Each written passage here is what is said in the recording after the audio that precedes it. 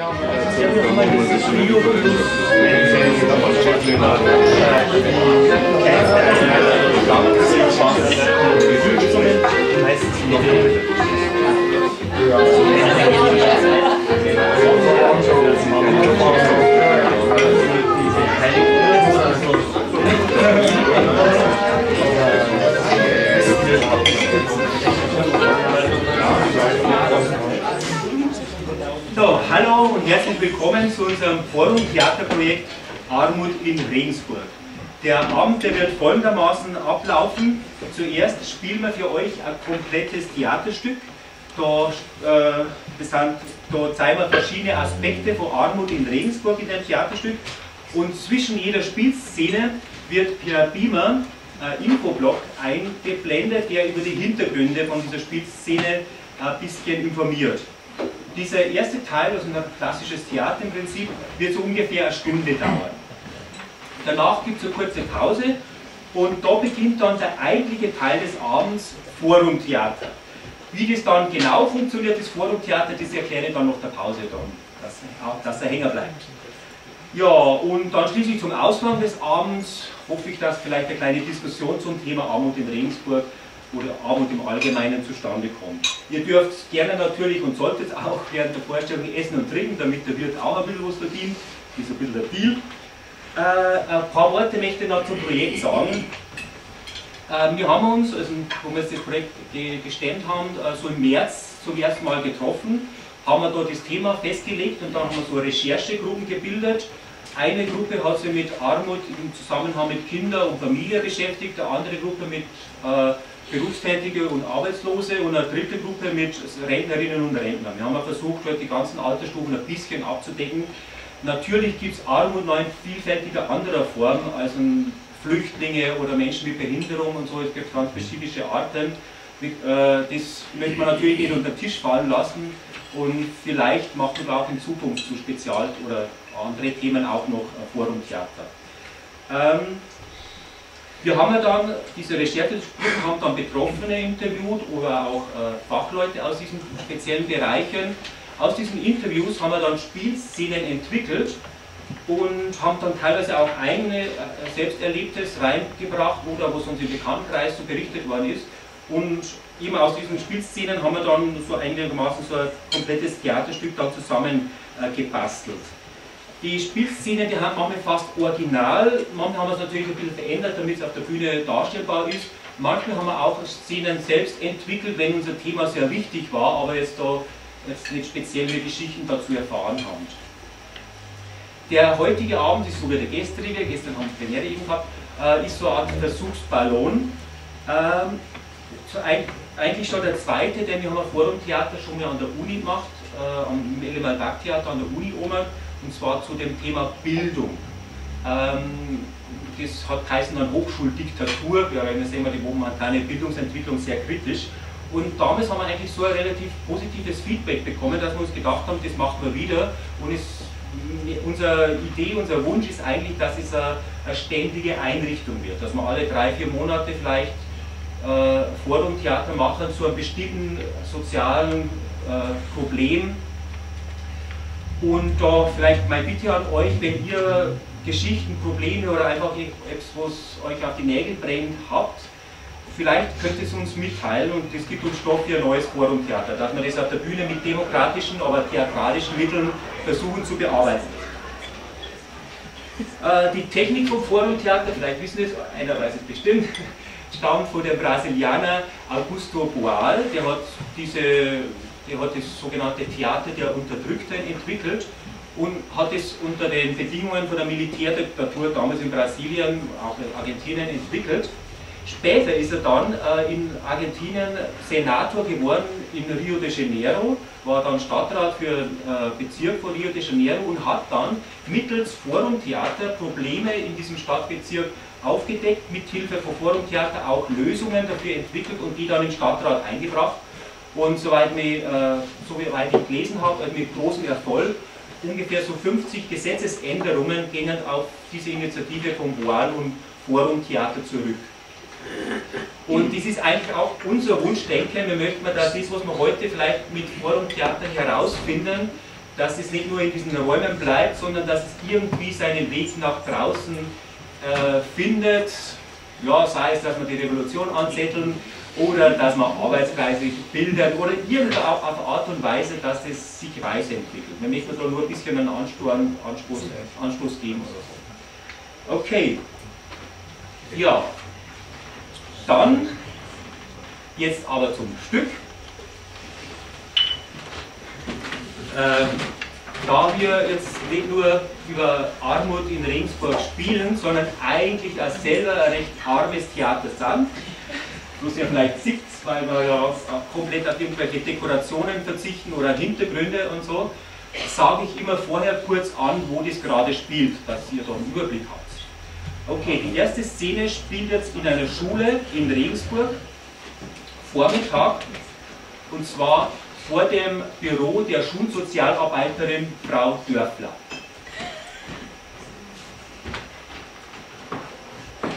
Wiedersehen, Frau Dörfler. Hi Renate, du hier. Hallo. Hi, was machst denn du hier? Ach, die Frau Dörfler hat mir wieder einen Termin aufs Auge gedrückt wegen dem Max. Das ist immer dasselbe, weil der angeblich immer stört im Unterricht. Naja. Und was ist bei dir? Ja, ich habe auch einen Termin bei ihr, schnell was abklären. Eigentlich nur in der Mittagspause, jetzt warte ich schon über eine halbe Stunde. Aber bei dir ist doch mit dem Stefan immer alles in Ordnung. Der ist doch so brav und hat so gute Noten. Ja, ja, da passt alles. Na, den Termin habe ich wegen was anderem. Gerade habe ich ihm noch die Brotzeit gebracht. Brotzeit? Ist der denn nicht mit den anderen? Heute gibt es auch lecker Schnitzel mit Pommes. Nee, das geht momentan nicht. Wieso? Was ist denn los? Ja, das sind halt jeden Tag 2,50. Das können wir uns gerade nicht leisten. Aber ich dachte, der Peter verdient so gut. Ja, wir sind nicht mehr zusammen. Ach nee, ihr seid getrennt jetzt doch. Ja, schon länger. Aber er zahlt dir Unterhalt, oder? Nee, macht er nicht. Ich habe jetzt auch wieder zum Arbeiten angefangen, aber das bringt auch nicht so viel ein. Ich stock halt mit Hartz IV auf. Ach, Hartz IV, dann ist es ein bisschen knapp, oder? Ja, schon. Das Amt übernimmt ja auch nicht die ganze Miete. Eigentlich müssten wir etwas Kleineres nutzen. Aber find mal was. Und die Kraft zu suchen habe ich auch gerade nicht. Aber sag mal, zahlen Sie nicht das Schulessen? Ja, eigentlich schon. Ich habe das jetzt beantragt, aber es hat halt noch die Bestätigung von der Schule gefehlt. Deswegen kriege ich das im Moment nicht. Wie beantragt man denn sowas? Wie funktioniert denn das? Ich habe ja gar keine Ahnung. Ja, du musst dich da auch wirklich erst reinarbeiten. Es ist halt so, dass du Hartz IV immer nur sechs Monate mhm. kriegst.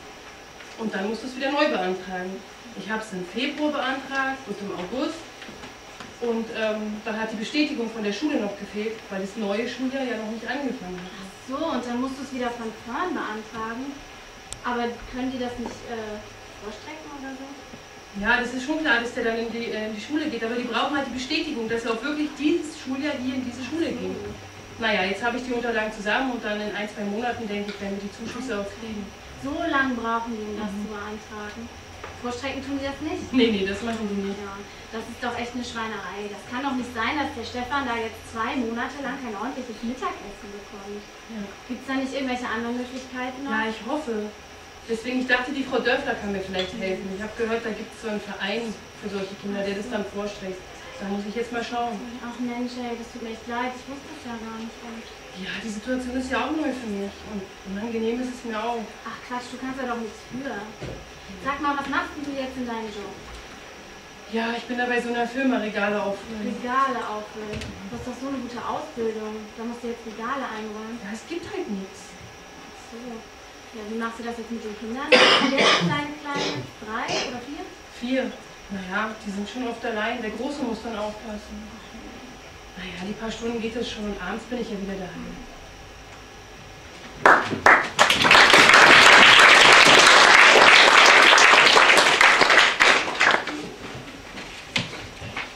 Der Hartz-IV-Regelsatz ist, wie man hier sehen kann, sehr detailliert aufgeschlüsselt. Einem Erwachsenen wird beispielsweise nur 1,42 Euro monatlich für Bildung zugestanden. Für unseren Fall besonders interessant ist das vorgesehene Geld für das Essen, nämlich 4,34 Euro täglich, also durchschnittlich nur 1,48 Euro pro Mahlzeit, inklusive Getränke. Auf eine vierköpfige Familie mit zwei Kindern unter 15 Jahren hochgerechnet macht das 12,47 Euro pro Tag. Für das Frühstück 2,72 Euro, für Mittag und Abend je 4,87. Der darin enthaltene Regelsatz für Kinder bis 6 Jahre beträgt pro Mahlzeit 0,87 Euro. bei Kindern von 7 bis 14 1,07 und bei Kindern von 15 bis 18 Jahren 1,38 Euro. An Regensburger Schulen wird das Mittagessen für 2 oder 3 Euro angeboten, also etwa für das Doppelte, das Hartz IV vorsieht.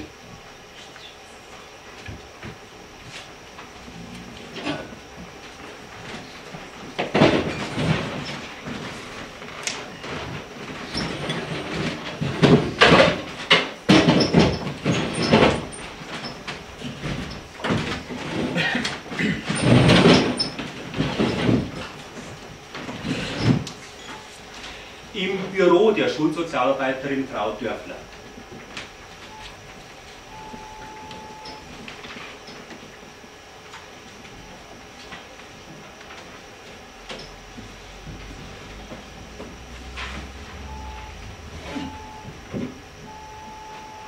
Warum geht denn da keiner ran? Die Mittagspause ist doch schon längst vorbei. Ach, Herr Arndt, ja Dörfler hier, die Schulsozialpädagogin der Mittelschule. Genau. Ja, ich rufe bezüglich des Bildungsgutscheins Frau Hensel an. Ja, ein Kollege hat mir Sie weiterverwiesen und... Ach, Sie sind nicht zuständig. Mhm. Ja, aber es ist sehr eilig und es geht schon seit Wochen hin und her. Können Sie kurz nachschauen, ob... Ja, keine Zeit. Hm? Ja, wann ist denn Ihre Kollegin da? Ah, ja, können Sie ausrichten, dass sie mich schnellstmöglich zurückrufen mag? Ja, die Nummer steht dabei. Okay, wiederschauen. Boah, ist das ein Mist mit denen jedes Mal. Uch, die Frau Huber. Frau Huber? Hallo, hallo, Frau Dörfenbücher. Was kann ich Sie tun? Ja, schön, dass Sie so schnell noch einen Termin für mich hatten, aber ich warte jetzt wirklich schon über eine halbe Stunde. Tut mir leid für die kleine Verspätung. Also es geht um den Stefan und das Mittagessen. Ich kann das momentan nicht zahlen und äh, habe jetzt die Zuschüsse beim Amt beantragt. Und da wollte ich fragen, ob es irgendeine Möglichkeit gibt, dass ich die Zeit überbrücken kann. Ja, ähm, passen Sie mal auf, da gibt es so einen Förderverein, der hilft der Schule immer mal wieder aus, wenn es mit den Finanzen schwierig wird. Ich könnte Ihnen da anbieten, dass wir... Moment. Schönen Tag, Dörfner Ja, gut, der Max, äh, ich bin gerade in der Beratung, können wir das später machen? Ja, tschüss. Entschuldigung, ein anderer Schüler. Ja, und gibt es da jetzt Mittel? Also ich kann Ihnen anbieten, dass ich den Rektor kurz anrufe und frage, ob da noch Mittel zur Verfügung stehen. Oh, das wäre super. Herr Meier, Ihr Dörfler hier. Ja, ich hätte mal eine Frage. Da gibt es doch den Verein, der hin und wieder das äh, Schulmittagessen übernimmt für die Schüler, die sich es nicht leisten können. Genau der. Ist da noch ein Platz frei? Nein? Ach, Sie wissen es nicht. Hm? Danke, bis gleich. So, er weiß es nicht genau, der ruft jetzt nochmal im Verein an und sagt dann Bescheid, ob noch Mittel zur Verfügung stehen. Und Sie meinen, das könnte noch klappen? Ja, das könnte schon klappen. Also versprechen kann ich Ihnen dann nichts, aber wir können gern gemeinsam warten, bis er zurück ist, wenn Sie noch Zeit haben. Naja, ich habe es halt wirklich eilig gerade, aber das ist ja wichtig. Ich wäre so erleichtert, wenn das klappt. Jeden Morgen denke ich mir, mein Gott, das arme Kind, das kriegt kein richtiges Mittagessen. Ja, das kann ich verstehen. Aber es geht wirklich vielen so wie Ihnen und es ist einfach nicht... Moment. Doppler. Ja, genau. Ja, ich hatte ihn angerufen. Genau. Wegen dem Antrag der Frau Hensel. Ja. Wie? Sie können den doch nicht einfach ablehnen. Das kann doch... Ja, dann werde ich ihr jetzt empfehlen, zum Sozialgericht zu gehen. Auf Wiederschauen. Äh, Entschuldigung. Ähm, wo waren wir?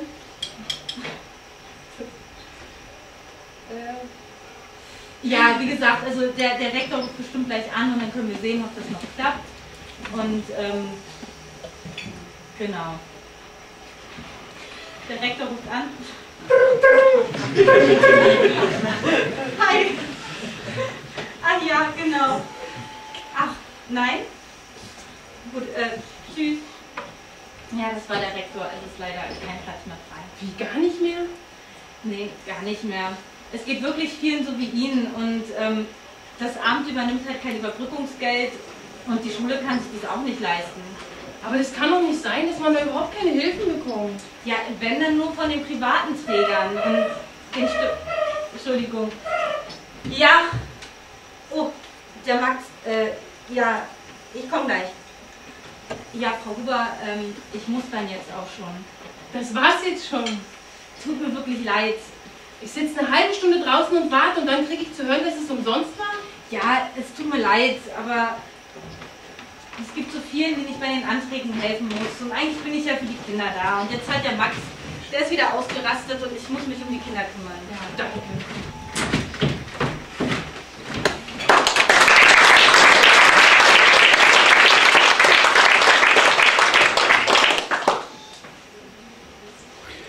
Mit der Hartz-IV-Reform ist der Verwaltungsaufwand der Agentur für Arbeit enorm gestiegen. Auch die Mitarbeiter der Jobcenter haben damit zu kämpfen. Seit 2005 hat es zudem rund 50 gesetzliche Änderungen im Sozialleistungsrecht und rund um das Arbeitslosengeld II gegeben. Die EDV hinkt immer noch einige Monate hinterher, wie Rainer Lipka, der Geschäftsführer des Jobcenters Gelsenkirchen, klagt. Dieser bürokratische Irrsinn hat Auswirkungen auf drei Bereiche. Kosten, Aufwand und Psyche. Kosten. Laut Heinrich Alt, einem Vorstandsmitglied der Bundesagentur für Arbeit, ist in Jobcentern mittlerweile die Hälfte der Mitarbeiter mit der Berechnung der Leistungen beschäftigt. 2011 wurde erstmals mehr Geld für die Verwaltung der Eingliederungsleistungen ausgegeben als für die Eingliederungsleistungen selbst. 4,15 Milliarden Euro gegenüber 4 Milliarden. Der Papierkrieg, mit dem Jobcenter-Mitarbeiterinnen und Mitarbeiter zu kämpfen haben, ist gewaltig. Ein Sachbearbeiter ist normalerweise für 130 bis 140 Bedarfsgemeinschaften zuständig. Die Akte einer Bedarfsgemeinschaft umfasst durchschnittlich 650 Seiten. Das macht pro Sachbearbeiter einen Papierberg von durchschnittlich 87.000 Seiten. Kein Wunder also, wenn Sachbearbeiter da nicht mehr richtig durchblicken und heillos überfordert, unmenschlich oder unwirsch reagieren. Die psychische Belastung ist massiv. Auf der einen Seite strukturelle Probleme, fehlende Ressourcen und hohe qualitative Anforderungen. Auf der anderen ein oftmals schwieriger, emotional belastender Kundenkontakt und darüber hinaus kaum gesellschaftliche Anerkennung. Wer kann da noch empathisch und einfühlsam arbeiten? Konflikte sind vorprogrammiert. Rund ein Viertel aller Sachbearbeiterinnen und Sachbearbeiter gibt an, schon einmal Opfer von Übergriffen geworden zu sein.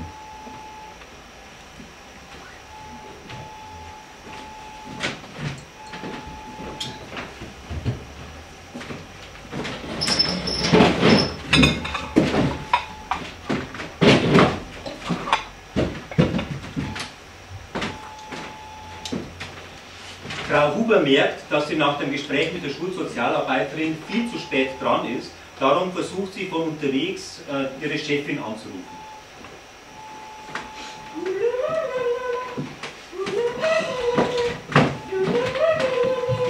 Logistik Insta Services, Kleinschmidt, hallo. Ja, hallo Huber hier. Ich wollte mich nur kurz entschuldigen. Ich komme etwa eine halbe Stunde später. Frau Huber, Sie schon wieder. Was haben Sie denn heute schon wieder für ein Problem?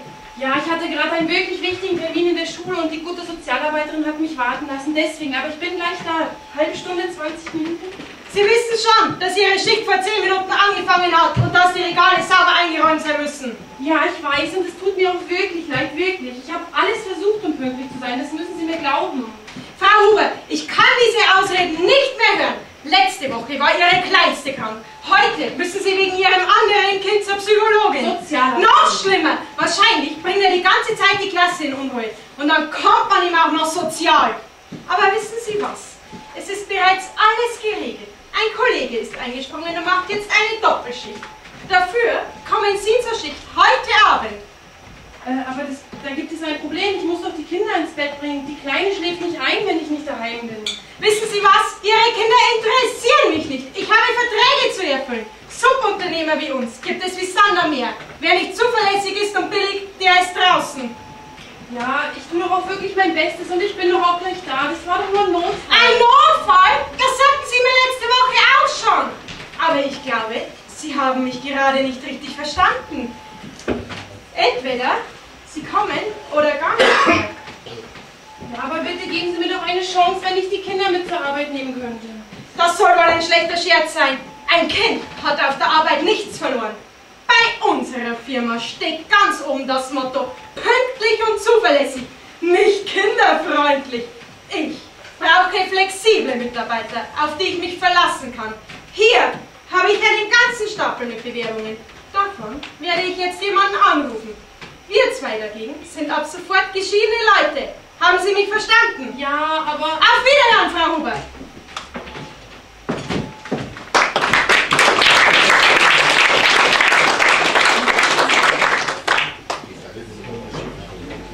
Ich brauche flexible Kräfte, auf die ich mich verlassen kann.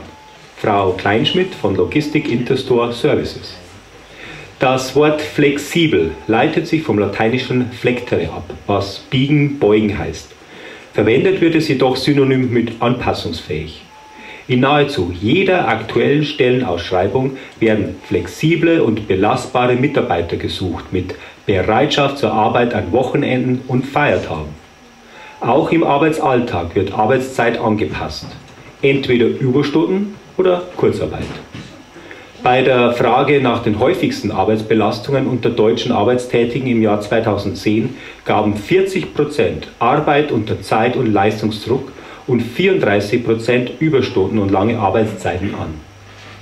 In einer von der AOK veröffentlichten Studie sagen zwar 36 Prozent, dass sie ihre Arbeitszeit in den letzten vier Wochen selbst bestimmt haben, jedoch hat auch mehr als jeder dritte Überstunden geleistet und jeder fünfte Samstagsarbeit. Aber wie flexibel sind Unternehmen, wenn zum Beispiel der Ehemann nicht außerhalb des Dienstplanes für einen Kollegen einspringen kann, weil er die kranken Kinder pflegen muss, während die Frau nach der Elternzeit wieder in den Beruf einsteigt? Im Monitor Familienleben 2011 sehen über zwei Drittel der Mütter und Väter von Kindern unter 18 Jahren keine Möglichkeit, Familie und Beruf in Deutschland miteinander zu vereinbaren. Theoretisch wäre die Schaffung von zusätzlichen Arbeitsplätzen eine Idee, diesen Arbeits-, Zeit- und Leistungsdruck für die Erwerbstätigen zu entschärfen. Um es mit den Worten von Annelie Bundenbach, DGB-Vorstandsmitglied, zu sagen, statt die Leute auszupressen wie die Zitronen, wir entsprechend dann auch äh, mehr Stellen da schaffen müssen, wo die Leute es nicht, nicht hinbekommen können.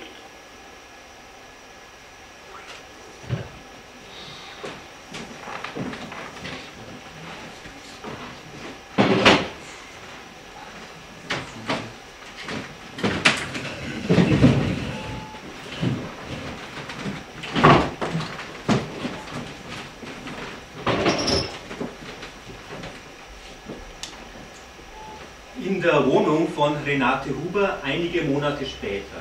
Die Renate Huber ist in einen depressiven Zustand verfallen, hat die Post immer geöffnet, hat die Rechnungen natürlich auch immer bezahlt. Vor der Tür steht die Gerichtsvollzieherin und ein Schlosser.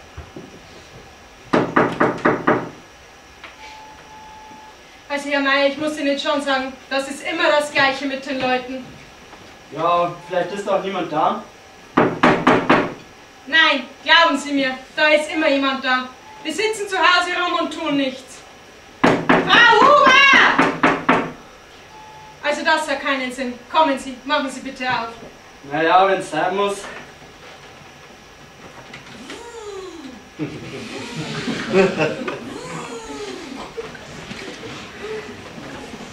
Bitteschön. Danke. Ach, diese Unordnung in diesen Häusern. Ha, die ganzen Briefe, die hätte sie mal besser aufmachen sollen. Herr Meier, seien Sie so gut und machen Sie bitte ein Fenster auf. Grüß Gott, Frau Huber. Mein Name ist Schramm. Ich habe hier einen Beschluss, dass Sie die Wohnung sofort räumen müssen. Ich bitte Sie daher, sich anzuziehen und die Wohnung umgehend zu verlassen. Was machen Sie in meiner Wohnung? Sie haben Ihre Miete nicht vollständig bezahlt, schon seit Monaten. Auf Mahnungen haben Sie nicht reagiert. Der Vermieter ist zum Gericht gegangen und hat die Räumung beantragt. Tut mir leid, ich konnte das Geld nicht mehr auftreiben. Ich habe meinen Job verloren und es sind doch nur 100 Euro im Monat, die fehlen. Können Sie mir nicht noch etwas Zeit geben? Wie auch immer, ich habe diese Anordnungen. Es ist jetzt alles so geregelt. Sie müssten die Wohnung sofort verlassen. Bitte, ich brauche etwas mehr Zeit. Die Wohnung ist so wichtig für meine Kinder. Das ist doch ihr Zuhause. Sie hatten genügend Zeit zu reagieren. Also bitte machen Sie es uns allen einfacher und stehen Sie auf. Ich kann nicht. Alles geht schief. Sie können nicht. Sie sitzen doch eh nur rum. Sie haben keine Ordnung in Ihrer Wohnung, obwohl Sie Zeit hätten. Sie haben nicht einmal aufgeräumt. So unaufgeräumt ist es doch gar nicht. Wie auch immer, Sie müssen jetzt gehen. Ich möchte ungern die Polizei verständigen, denn dann wird es für Sie noch teurer. Ja, ich, aber wo, soll ich denn hin? Unsere ganzen Sachen. Brauchbares wird verkauft, der Rest wird eingelagert zu Ihren Kosten. Bitte kommen Sie jetzt. Und, und meine Kinder, die Kleine muss ich gleich aus dem Kindergarten holen und der Stefan kommt dann von der Schule heim. Das ist nicht mein Problem. Da müssen Sie sich schon selbst drum kümmern. Sie haben bestimmt Anspruch auf eine Notunterkunft in der Aussiegerstraße. Aber wie gesagt, da müssen Sie sich selbst drum kümmern. Aber der Stefan, der weiß doch dann gar nicht, wo ich bin. Wie auch immer, jetzt kommen Sie bitte mit. Hier, Ihr Mantel. Nehmen Sie den noch mit.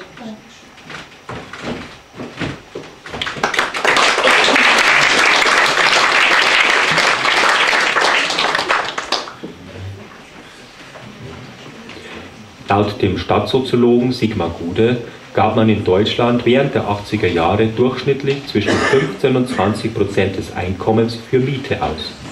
Heute sind es 30 Prozent. Ärmere Bevölkerungsschichten beraten teilweise sogar über 50 Prozent für die Miete. Ein Hauptgrund für die steigenden Mieten ist der Verkauf einstmals öffentlich geförderter Wohnungen an private Investoren. In Regensburg zum Beispiel an die Deutsche Annington oder an die GAGFA.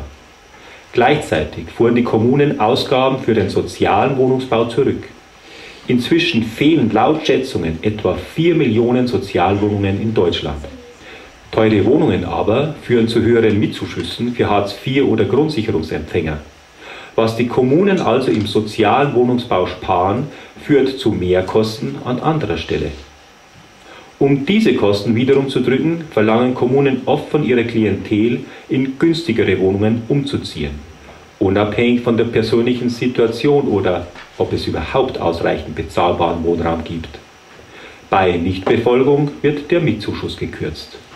Die Betroffenen sind dann gezwungen, von ihrem knappen Hartz-IV-Satz einen Teil für die Miete abzuziehen. Andernfalls droht die Zwangsräumung. Regensburg hat mittlerweile neben München den angespanntesten Wohnungsmarkt in Bayern. Innerhalb von zehn Jahren sind die Mieten in der Regensburger Altstadt um 35 Prozent gestiegen. Die ärmere Bevölkerung wird verdrängt. Dieser Prozess wird Gentrifizierung genannt.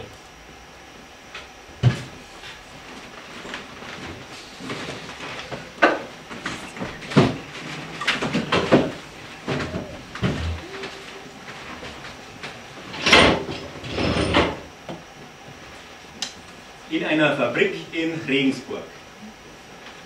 Da, bum, da, bum, da, bum, da, bum. Ey, bist du neu hier? Nee, ich bin schon ein halbes Jahr bei euch. Aber an dem Platz bist du zum ersten Mal. Nee, du bist täuscht. Ich hab sonst immer die beschissenen Schichten am Wochenende oder nachts. Bist ein Fester oder ein Leier? Ich bin Leier. Leider. Ja, einen Haufen Leier haben wir hier, schon fast über die Hälfte. Irgendwann schmeißen die mich auch noch raus und setzen dafür einen Leier hin. Na, ich hoffe, dass sie mich hier langsam mal übernehmen. Ja, da kannst lange warten. Seitdem ich hier bin, haben sie Marken übernommen. Aber sag mal, wie viel verdienst du eigentlich? 900. 900? Du machst doch fast das gleiche wie ich. Ja. Und ich krieg immer einen 5 netto. Ja, also ich trau's mir kaum sagen. Dass du da arbeiten gehst, aber kommst doch als Arbeitsloser mehr. Naja, so fast. Aber weißt du, bevor ich den ganzen Tag zu Hause sitze, bin ich lieber hier. Und wie gesagt, vielleicht übernehmen sie mich ja mal. Ganz nach dem Motto, Arbeit um Arbeit zu bekommen. Ja, so ungefähr. Aha, Sie haben offensichtlich Zeit zum Raschen. Wie sieht's denn mit der Arbeit aus? Naja, Sie wissen schon, dass diese tausend Teile heute noch fertig werden müssen. Heute noch? Ja, ich würde mal sagen, dann bleiben Sie bis um 8. Aber ich habe doch gestern erst Überstunden gemacht. Die Teile müssen fertig werden. Aber wie Sie wünschen, dann schalten wir eben die Maschine höher. Aber die Maschine ist doch schon. Los, auf geht's! Und wer entscheidet die Zauber? Das wird von Ihrem Lohn abgezogen. Gute Arbeit, Herr Meier. Danke, Frau Lehner. So eine verdammte Scheiße. dass du dir das gefallen lässt. Ja, wenn die sich beschwert, bin ich weg vom Fenster, von heute auf morgen. Habt ihr nicht einen Betriebsrat oder so in deiner Leiharbeitsfirma? Nee, vergiss es. Wer sich auch nur rührt, wird sofort geschmissen. Wir sind echt die modernen Sklaven.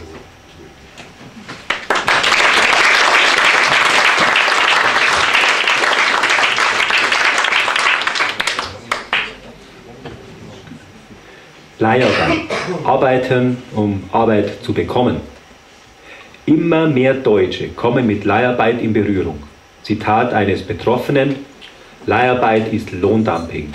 Aussage meiner Leiharbeitsfirma, wir produzieren nicht, wir handeln. Sie handeln mit meiner Arbeitskraft und verdienen pro Leiharbeiter pro Stunde zwischen 2 und 3 Euro. Die Zahl der Leiharbeiter stieg seit 2002 rapide an. Prognosen zeigen, dass die Spitze noch nicht erreicht wurde. Leiharbeit findet mittlerweile in allen Branchen und Regionen statt. In den Firmen haben sie das Problem, als Mitarbeiter zweiter Klasse behandelt zu werden, obwohl sie oft hochqualifiziert sind und die gleiche Arbeit wie ihre Kollegen machen. Extrem spiegelt sich dies natürlich auch im Vergleich der Löhne wider. Diese Grafik zeigt, dass nur 19% der Leiharbeiter einen Bruttolohn von über 2000 Euro verdienen. Bei den Festangestellten hingegen sind es 71 Prozent. Bei den niedrigen Monatslöhnen kehrt sich dagegen das Verhältnis um. Deutlich erkennbar sind die Klassenunterschiede außerdem in den Aussagen der Leiharbeiter.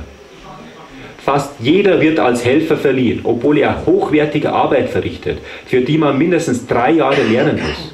Selbst als gelernter Kfz-Mechaniker sollte ich zum Helferlohn in einer Werkstatt arbeiten. Leider ist es so, dass man in den Einsatzfirmen für die Kollegen häufig nur die Leihkeule ist. Das ist schade und extrem nervig. Aber wenn es um Überstunden oder Wochenendarbeit geht, sind fast nur die Leiharbeiter da. Die könnten ansonsten ja auch abgemeldet werden, beziehungsweise die hoffen auf eine Übernahme. In einem Arbeitsverhältnis mit Leiharbeit hat man ständig Angst um den Job. Einige schleppen sich krank zur Arbeit, um nicht rausgeworfen zu werden. Falls eine Krise kommt, sitzen die Leiharbeiter von einem Tag auf den nächsten allesamt auf der Straße. Dieser neuzeitliche Sklavenhandel sollte verboten werden, denn mit Leiharbeit wird alles untergraben, wofür Generationen von Arbeitnehmern gekämpft haben.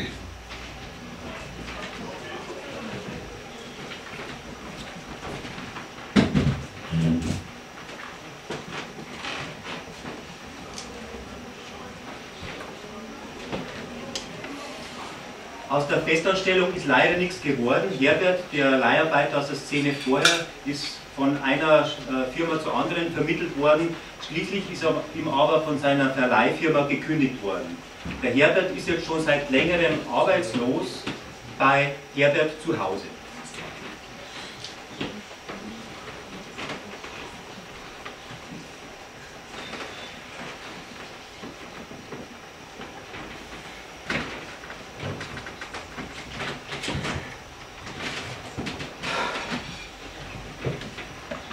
Das Aufstehen rentiert sich irgendwie auch nicht mehr.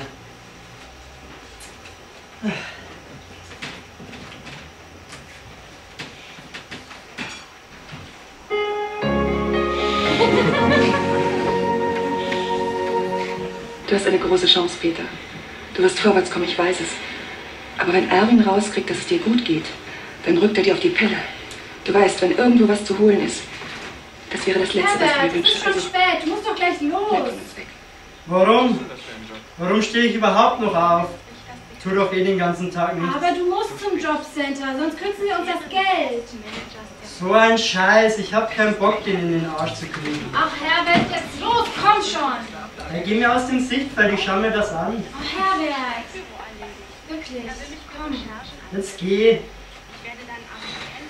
Was willst du denn? Jetzt lass dich doch nicht so hängen. Hey, ich habe in den letzten zwei Jahren so viele scheiß Jobs gemacht. Ich habe keine Lust mehr. Bald bin ich 50, da will mich eh niemand mehr. Das kann ich doch verstehen, aber die kürzen uns doch das Geld, wenn du da nicht hingehst. Hey, dann sollen sie uns doch was kürzen. Ja, dann müssen wir aber hier raus, weil wir uns die Miete nicht mehr leisten können. Hey, ich habe überhaupt keine Lust. Tue das hier nur für dich. Danke, mein Schatz. Ich koche dir auch was Gutes, wenn du wieder da bist. Mein Bruder.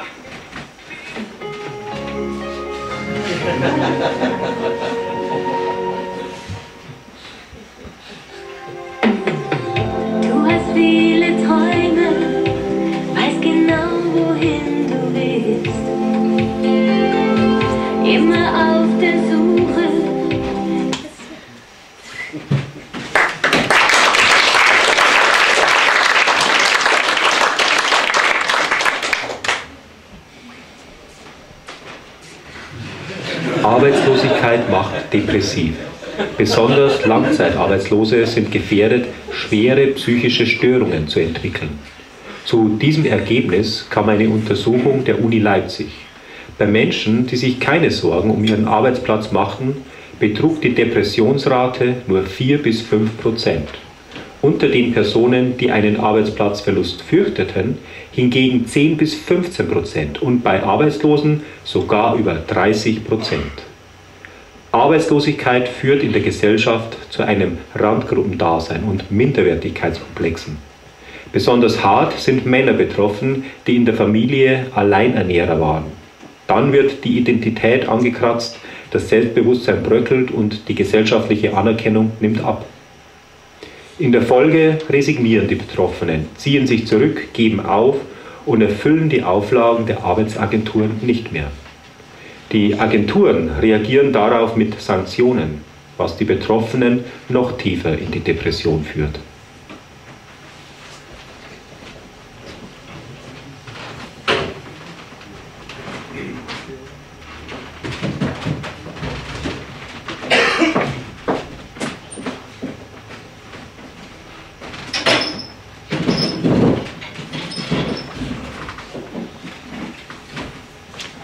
Im Jobcenter.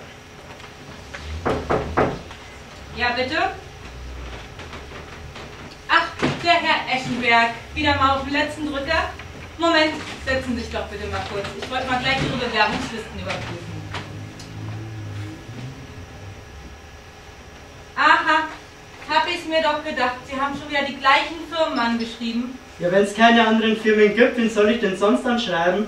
Das sind Firmen aus unserem Umkreis. Es gibt genug Firmen, die Sie anschreiben können. Das ist ja auch alles die gleiche Branche. Ja, natürlich. Das ist ja auch mein Beruf. Ich bin Facharbeiter. Schon vergessen? Herr Eschenberg. Ich heiße Eschenbach. Ja, Bach. Ein bisschen flexibel müssen Sie schon sein und sich auch mal nach anderen Jobs umschauen. Ja, wie flexibel sein und sich nach was anderem umschauen? Es gibt ja sonst nichts. Also ich kann Ihnen sagen, in der Gastronomie, in der Küche, da gibt's immer was. Ja, Sie, Sie können das leicht sagen. Sie sind ja auch noch keine 50. Also Herr Eschenberg. Eschenbach. Mit dem Alter hat das doch gar nichts zu tun. Ein bisschen willig müssen Sie schon sein. Ich will arbeiten, aber niemand will mich. Quatsch, wenn man arbeiten will, dann findet man immer einen Weg. Und wenn Sie mal die gleichen Firmen anschreiben, Ja, was soll ich denn sonst machen, wenn es keine anderen Firmen gibt? Zeigen Sie mir den Weg. Zeigen Sie mir halt. so, einen Weg habe ich schon mal für Sie. Bitte schön, wollte ich sowieso per Post schicken. In zwei Wochen geht eine neue Maßnahme los. Da wird Ihnen nochmal genau gezeigt, wie man sich richtig bewirbt, dass Sie ein bisschen besser hinbekommen. Ich kann Bewerbungen schreiben. Ich sehe, wie Sie es können. Sie bekommen ja nicht mal richtig Rückmeldung. Nein, danke, ich kann Bewerbungen schreiben. Das war keine Bitte, sondern Pflicht. Hinsetzen. Ich kann doch stehen, wenn ich stehen will. Herr Eschenberg, das hat man doch schon einmal. Herr Bach. Wenn das Ganze nicht läuft, kann ich Ihnen gern Bezüge kürzen. Oder soll ich die Sicherheit rufen? Ganz wie Sie wollen. Also, in zwei Wochen geht die Maßnahme los. Da hat der Leiter zu unterschreiben. Wir müssen ja auch überprüfen, dass sie wirklich da war, nicht wahr? Und ganz hinten gibt es nochmal einen neuen Bereich, der ist jetzt dazugekommen. Da schreiben Sie hin, was Sie denn noch Schönes gelernt haben. Sag mal, wissen Sie eigentlich, dass ich so einen ähnlichen Kurs vor ein paar Monaten erst schon mal belegt habe? Ja, anscheinend hat der ja nicht gefruchtet. Sie hat nicht gefruchtet, weil die Firmen keine Leute suchen. Es gibt schon Stellen. Wer sich Mühe gibt, der findet auch was. Immer ihr Spruch, wer sich Mühe gibt, findet was. Wer willig zur Arbeit ist, findet auch was. Ich habe aber keine Arbeit gefunden und Sie tragen überhaupt nichts dazu bei, dass ich was finde. Sie haben mir noch keinen einzigen Job gezeigt, der nicht schon belegt war, als ich angefragt habe. Also Herr Eschenberg, bei Ihrer Einstellung... Schembach, Ja, sag ich ja. Bei Ihrer Einstellung ist das ja auch kein Wunder, dass die Firmen ständig behaupten, dass die Stellen besetzt seien. Ja, ja, jetzt ist es meine Einstellung. Sie sitzen doch den ganzen Tag zu Hause, kommen ja auf den letzten Drücker rein, geben die gleichen Bewerbungslisten ab. Ein bisschen Eigeninitiative müssen Sie schon zeigen. Ich dachte eigentlich, dass das Jobcenter Stellen vermittelt, dass Sie mir welche geben. Machen Sie eigentlich Ihren Job richtig? Also jetzt werden Sie mal nicht ausfallend, Herr Eschenberg, hm? Herr Schembach, Sag ich ja. Erstens gibt's das die Jobbörse im Internet. Da werden jeden Tag neue freie Stellen reingestellt. Und zweitens können Sie sich auch mal ein bisschen außerhalb von Regensburg umschauen. Ist ja, nicht so schwer. ja, ja. Was das? Ich sage, wenn es es war, haben wir uns verstanden. So, ich hab da noch was. Ich kenne sonst gleich an. Wie bitte? Bitte schön, ich habe da noch einen Job für Sie. Was denn? Der Herbst ist da, damit die Blätter. Laubkern ist zwar nur befristet, aber damit kriegen wir die Frist schon bis zur Maßnahmen überbrückt, ne? Ja. So, da bewerben Sie sich einmal und wenn Sie ein bisschen netter sind, dann klappt das diesmal. Ja, wenn ich ein bisschen netter bin, ja. Ja. So, das wär's von mir und in 14 Tagen. Zu dem scheiß Bewerbungstraining, ich weiß, danke. Gern geschehen.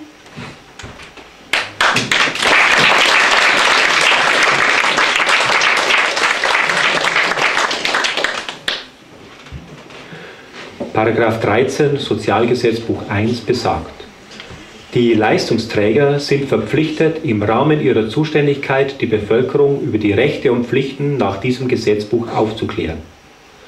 Dies bezieht sich auf alle Leistungen des Sozialgesetzbuches und somit auch auf die Arbeitslosengeld- und Hartz-IV-Ansprüche.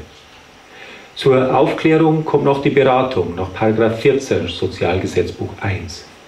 Jeder hat Anspruch auf Beratung über seine Rechte und Pflichten nach diesem Gesetzbuch.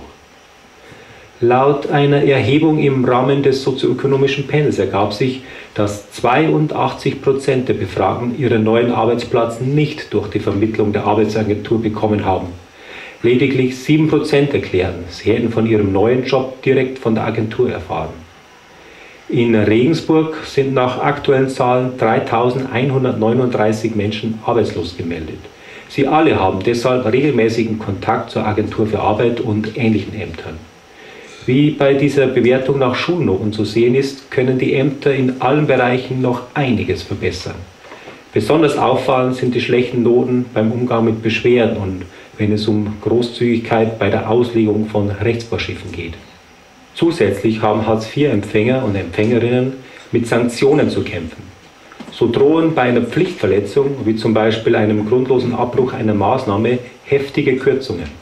Beim ersten Verstoß sind es 30 Prozent, beim zweiten 60 und beim letzten verliert der Betroffene seine gesamten Ansprüche. Ist derjenige unter 25 Jahre alt, muss er schon beim ersten Verstoß mit einem Wegfall aller Ansprüche rechnen.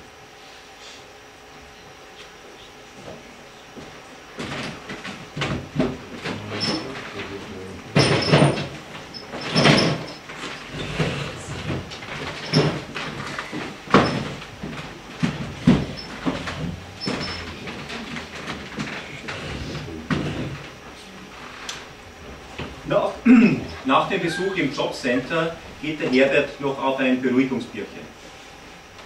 Gerda, das Mittagsmenü und der Hölz bitte.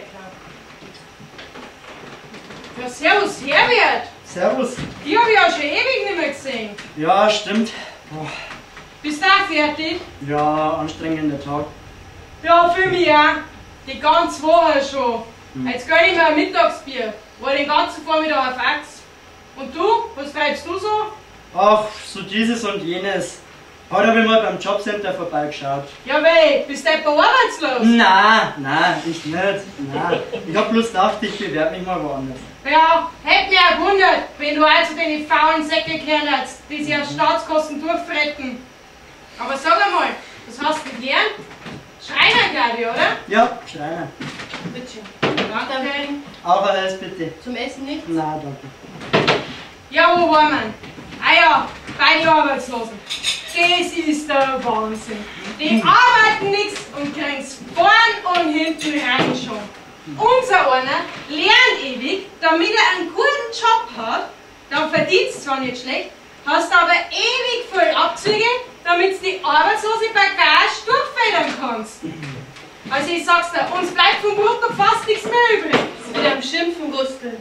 Ja, weiß, weiß. Die vermehren sich wie die Kanickel. Die gescheiten Leute mit einem anständigen Job. Kein keine Kinder mehr, weil sie es zeitlich nicht mehr schaffen. Weißt, meine Frau und ich hätten auch gern Kinder. Aber jetzt haben wir erst studiert und dann müssen wir arbeiten, damit das Geld reinkommt. Weil wir ihnen ja was bieten. Und die anderen, wenn ich meine arbeitslosen Nachbarn anschaue, die haben fünf Kinder. Und wer finanziert die? Wir! Die machen sich ein schönes Leben mit ihren Kratzen und wir dürfen es zahlen. Da stimmt doch was im System nicht. Ich sag's dir, mittlerweile ist in Deutschland so weit, dass du gar nicht mehr arbeiten brauchst. Und die Fleißigen, die Faulen finanzieren. Als Ausrede sagen sie dann immer, dass sie keinen Job finden. Aber ich sag's dir, in Regensburg gibt's genügend freie Stellen. Das seid ihr doch nur schön zum Arbeiten, oder? Was sagst du dazu? Du, äh, ich muss weg, gell? Servus. Wo ist denn er jetzt hin? Keine Ahnung, der ist einfach gegangen. Was? Und wer trinkt das Bier jetzt? Ah, stöß mir ja, das habe ich mir halt verdient.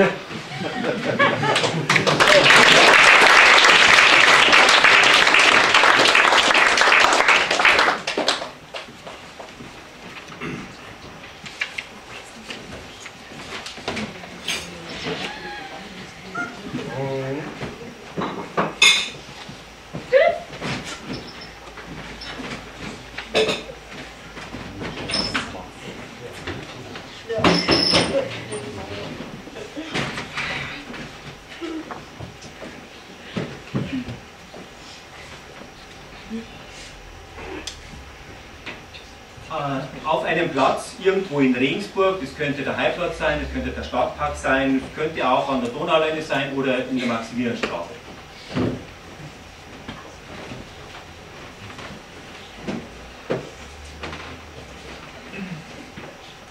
Hat hier jemand mal eine Flasche für mich? Kann ich die haben? Dankeschön.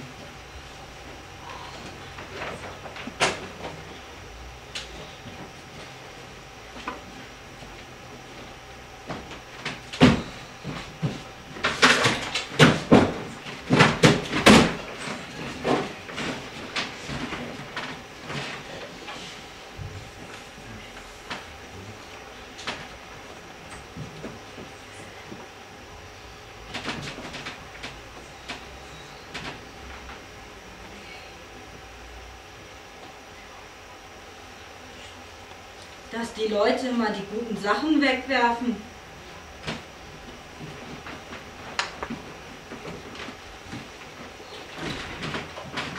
Entschuldigung, Ja, können Sie die brauchen? Dankeschön. Bitte.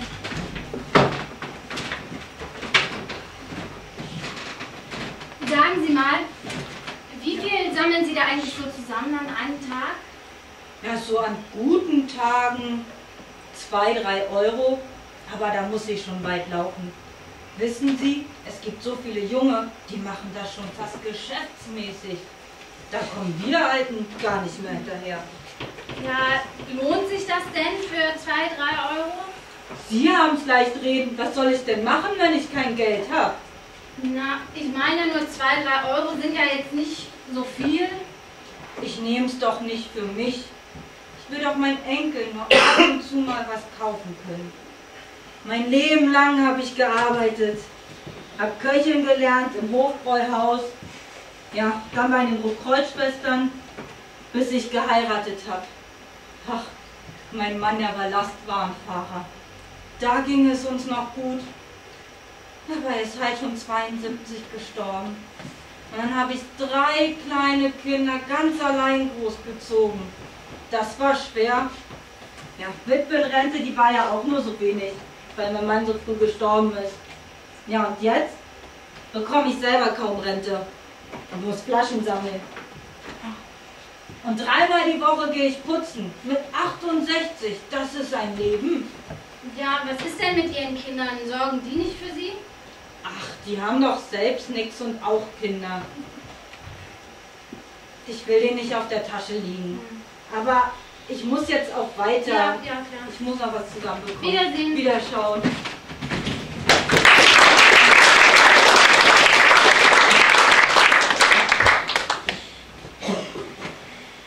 Von Armut und sozialer Ausgrenzung sind laut der Studie Leben in Europa in Deutschland 15,3 Prozent aller Rentnerinnen und Rentner betroffen. Im Vergleich zu anderen Bevölkerungsschichten stehen sie damit noch relativ gut da Allerdings die Altersarmut wächst rasant. So stieg die Zahl der über 65-Jährigen, die nur noch mit Hilfe der Grundsicherung über die Runden kommen, seit 2003 um ganze 40 Prozent. In Regensburg beziehen rund 900 ältere Menschen Grundsicherung, weit über die Hälfte davon sind Frauen. Die zunehmende Altersarmut geht hauptsächlich auf die Reformen der letzten Jahre zurück. Die Hartz-IV-Gesetzgebung drückte das Lohnniveau und deregulierte den Arbeitsmarkt. Unterbrochene Erwerbsbiografien sind seitdem die Regel. Die Beiträge zur Rentenkasse reduzierten sich dadurch dramatisch. Dazu kommen die Rentenreformen von 2001 und 2004. Ganz bewusst wurde das Rentenniveau gedrückt und soll 2030 nur noch bei 43 Prozent liegen. Und schließlich die Rente mit 67. Da die wenigsten bis in dieses Alter sozialversicherungspflichtige Jobs finden werden, bedeutet die Anhebung der Altersgrenze faktisch eine weitere Rentenkürzung.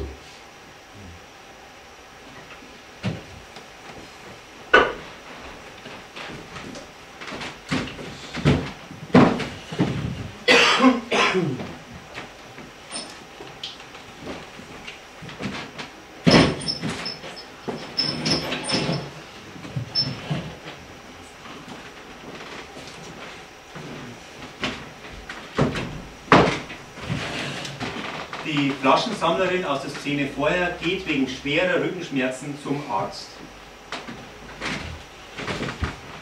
Herr Rothammer, bitte. Ja, grüß Gott, Frau Rothammer. Grüß Gott, Veronika.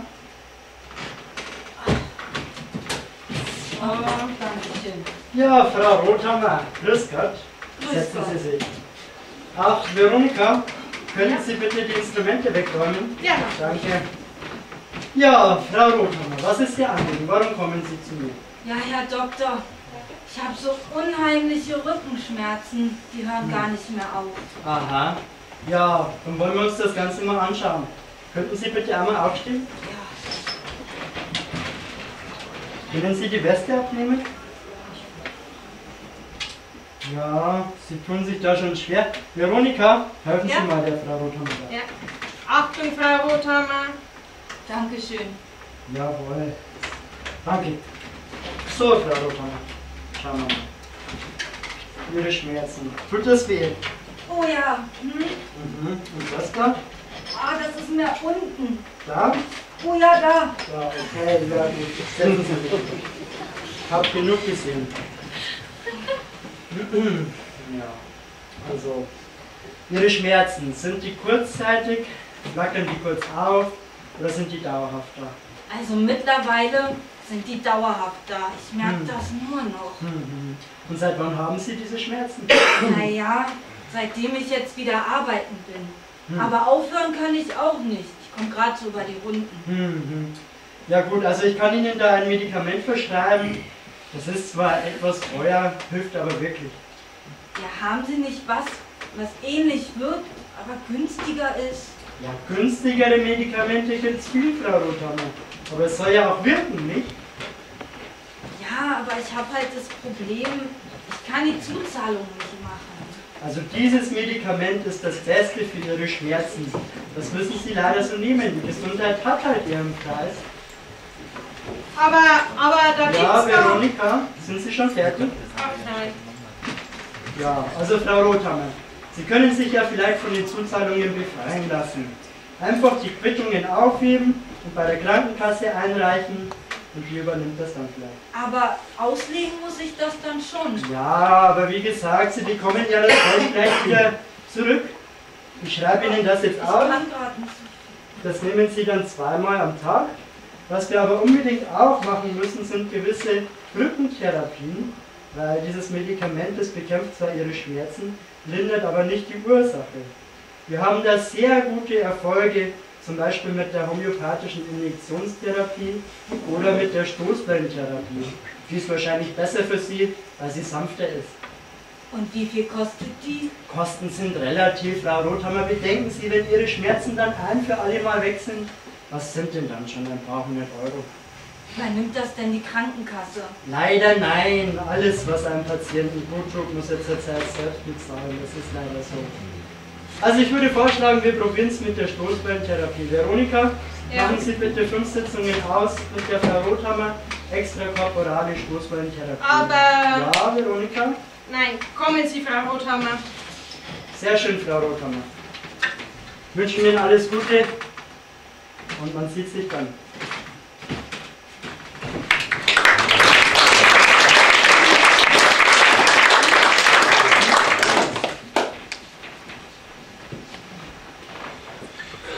Arme erkranken häufiger als andere Menschen. Rund zehn Jahre geringer ist ihre Lebenserwartung. Umgekehrt ist Krankheit aber auch einer der Hauptgründe für Armut.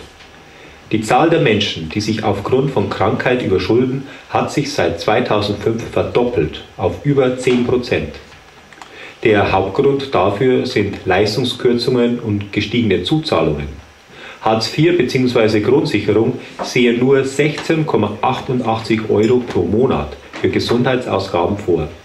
Schon die Praxisgebühr allein fraß bislang einen Großteil davon wieder auf.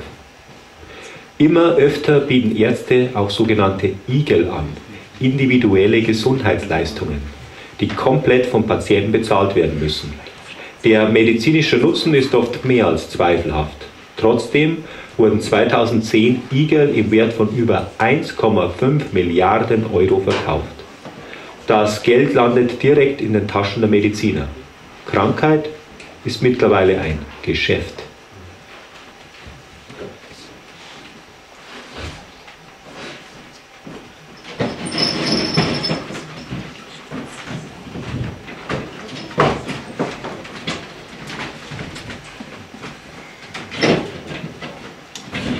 Frau Rothammer stattet Ihrer Bank einen Besuch ab, um zu erkunden, wie sie vielleicht diese Arztkosten bezahlen könnte.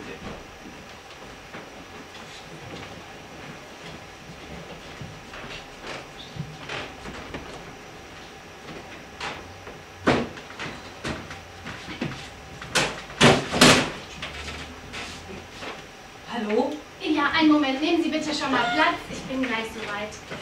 Die Kurse stehen gerade günstig, da muss ich einfach zustimmen. Ja, wunderbar. Ja, die Frau Rothammer. Grüß Gott, Frau Rothammer, grüß Gott, schön, dass Grüß Sie da Gott. sind. Ja, wie geht's uns denn heute? Ja, also eigentlich nicht. Nicht so, nee. Ja, wie geht's denn Ihren Kindern und den Enkeln? Sind die alle gut beieinander, ja? Ja, Frau Rothammer, das freut mich aber wirklich. So, wie kann ich Ihnen denn heute behilflich sein? Ich habe doch vor Jahren bei Ihnen mal die Riester-Rente Ja, abgeschlossen. genau, die Riester-Rente, Frau Rothammer, das haben Sie wirklich sehr gut gemacht. Da kriegen Sie vom Staat Geld geschenkt, genau, ja. Ja, weil Sie mir damals so viel Angst gemacht haben, dass ich im Alter ganz arm bin und nichts hab. Genau, die Riester-Rente als zweite Säule neben der gesetzlichen, damit Sie äh, jetzt, wo Sie alt sind, ein bisschen mehr haben mit viel Zuschüssen vom Staat. Ein bisschen mehr jetzt, wo Sie alt sind. Ein bisschen mehr ist gut. Ich bekomme ja nur ein paar Euro raus. Ich wollte zunächst mal fragen, warum ist das denn so wenig? Ja, Frau Rothammer, wissen Sie, also die Wirtschaft, das ist ein Auf und Ab. Damals, als ich Ihnen die Riester-Rente empfohlen habe, da sind wir davon ausgegangen, dass wir 10% Gewinn machen werden.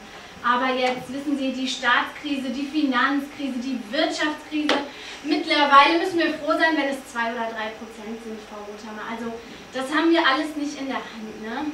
Also ich meine halt nur bei den ganzen staatlichen Zuschüssen und dann nur ein paar Euro. Ich habe jeden Monat von meinem Verdienst eingezahlt. Von 750 Euro mir noch 50 Euro aus die Rippen geleiert. Und dann bekomme ich nur ein paar Euro. Naja, Frau Rothammer, das rentiert sich halt erst, wenn Sie relativ alt sind. Und da müssen Sie halt jetzt noch ein bisschen durchhalten, was wir natürlich alle hoffen. Und dann machen Sie am Ende einen großartigen Gewinn. Aber ich bin jetzt krank und muss den Doktor bezahlen. Gibt es da nicht eine Möglichkeit, dass ich ein bisschen mehr rausbekomme? Aber Frau Rothammer, wie soll das gehen? Man kann doch nur herausbekommen, was man vorher eingezahlt hat, oder nicht? Aber ich muss die Behandlung bezahlen, damit mein Rücken wieder wird. Und dann kann ich arbeiten gehen und wieder was dazu Ja, verdienen. Frau Rothammer, gell? Der Ruhestand, der ist manchmal eher ein Unruhestand, nicht wahr? da muss man manchmal härter ran als vorher. Nein, aber im Ernst, das geht nicht, Frau Rothammer. Da sind mir die Hände gebunden. So leid mir das tut. Aha. Ich war gerade beim Sozialamt wegen Grundsicherung. Wissen Sie, was das für eine Überwindung ist? Mein ganzes Leben lang habe ich gearbeitet und Kinder großgezogen. Und dann muss ich betteln gehen, weil das Geld nicht mehr langt. Tja, Frau Rothammer, so hat jeder sein Päckchen zu tragen. Wissen Sie, was die mir dann noch gesagt haben? Dass die Riester-Rente mir gar nichts bringt. Die wird mir von der Grundsicherung wieder abgezogen. Tja, Frau Rothammer, die Gesetze sind manchmal schon ein bisschen am Leben vorbei, nicht wahr? Ja, ich habe jetzt auch Also, es ist mir so schwer gefallen. Ich habe jeden Monat einbezahlt und jetzt habe ich gar nichts davon. Genauso viel wie ohne Riester-Rente. Ja, wie gesagt, der Gesetzgeber, das ist manchmal... Sie haben doch damals ganz genau gewusst, dass die Riester-Rente mir nichts bringt. Frau Rothammer, ich habe Sie damals kompetent Ein und ausführlich über alle Chancen Wissen Sie, was Sie sind? Sie sind eine Also, Frau Verbrecherin. Rothammer, das muss ich Ja, ja, eine Frau Rothammer, mein Verbrecherin. nächster Kunde kommt gleich. Ich Eine muss Sie jetzt kleine, Auf geldgierige Wiedersehen, Frau Hexe. Rothammer. Auf Ja, Wiedersehen. ja. Ja, ja. Grüßen Sie die Kinder auf die Ecke. Kopf hoch, Kopf hoch, Frau Rothammer, das wird schon wieder. Girl,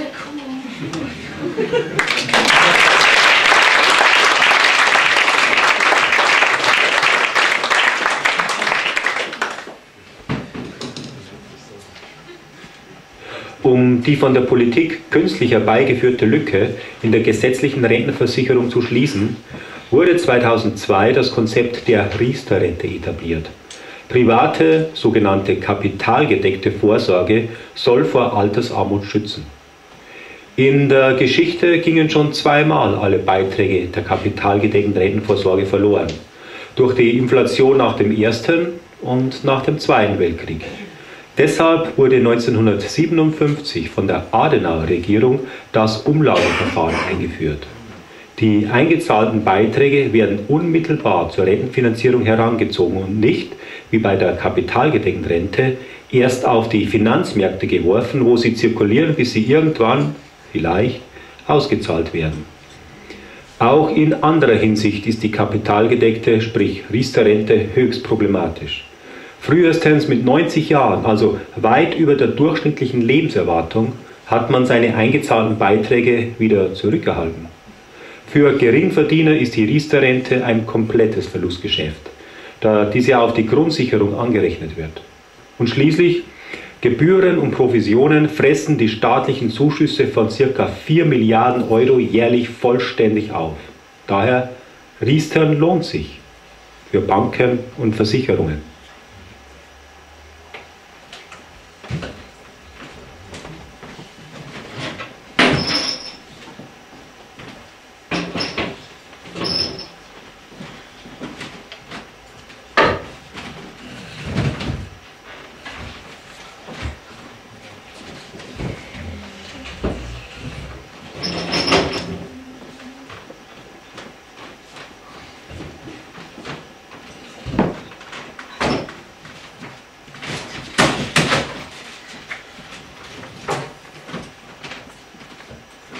Ach, mein Horst. Wie lange ist das jetzt schon her?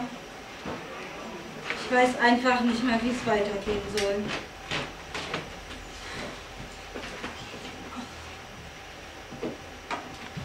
Ich gehe schon putzen. Aber das Geld langt vorn und hinten nicht. Ich weiß nicht mal, wie ich meine Beerdigung finanzieren soll. Ich krieg das einfach nicht mehr hin.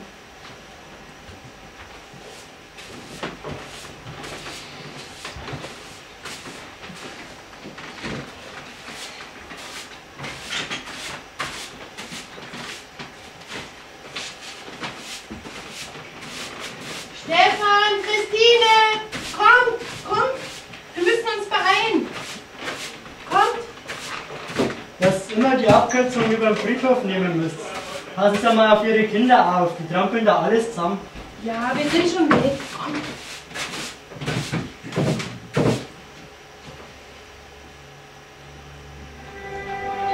In keinem Land Europas ist die Kluft zwischen Arm und Reich in den letzten Jahren stärker gewachsen als in Deutschland. Allein zwischen 2004 und 2009 stieg die Armutsquote bei Arbeitslosen um satte 29 Prozent. Im EU-Schnitt waren es nur 5 Prozent. Entsprechend einseitig sieht die Vermögensverteilung in Deutschland aus. Die obersten 10 Prozent besitzen über 60 Prozent des gesamten Privatvermögens. Den unteren 10 bleiben dagegen nur Schulden. Während in Deutschland die Reallöhne seit der Jahrtausendwende um etwa 4% zurückgingen, hat sich der Reichtum verdoppelt auf unvorstellbare 9 Billionen Euro. Das sind 900 Milliarden Euro. Und eine Milliarde sind 1000 Millionen. Bund, Länder und Gemeinden sind derzeit mit knapp 2 Billionen Euro verschuldet. Übrigens kommen auf einen Euro erschwindelte Sozialleistungen etwa 1000 Euro an Steuerhinterziehung. Wie weit der Klassenkampf von oben, wie der Sozialwissenschaftler Wilhelm Heidmeier die Situation beschreibt, noch gehen kann, zeigt das Beispiel Griechenland. Während immer mehr Menschen in verzweifelte Not geraten, werden die Konten der Reichen nicht angetastet.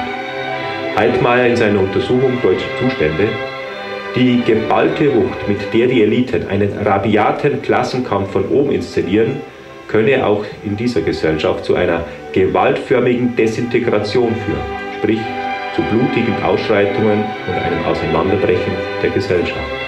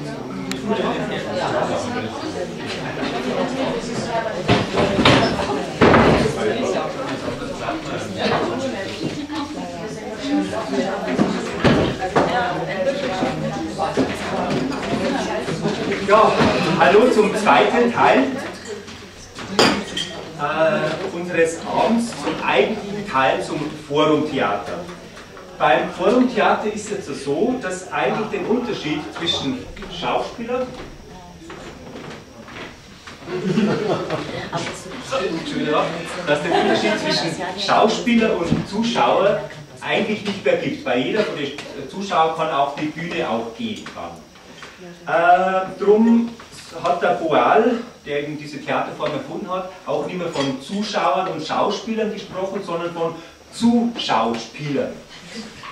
Okay, ja, jetzt wo wir praktisch alle zu Schauspieler erklärt worden sind, beziehungsweise zu Zuschauspielern, äh, betrifft uns, also normale Schauspieler, wenn's, bevor das auf die Bühne gingen, die wärmen sich erst ein bisschen auf, das lockerer werden und ein bisschen pfiffiger. Äh, und weil jetzt ihr auch natürlich zu Schauspielern erklärt worden seid, machen wir das jetzt alle gemeinsam, ein bisschen aufwärmen. Und dazu haben wir uns folgendes überlegt, da haben jetzt drei Schauspieler, ne, drei Schauspieler auf der Bühne, sucht sich mal irgendeinen Schauspieler aus. Schauspielerin. So, hat, hat jeder, jeder sich mal ausgesucht. Jetzt ist die Aufgabe, eure Aufgabe, dass ihr alles genau so nachmacht, wie die Schauspieler das auf der Bühne machen.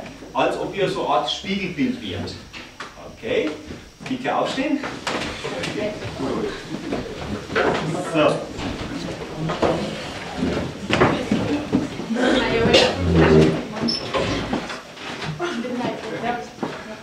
Ah ja, lass uns erst hinstellen, dass er nichts.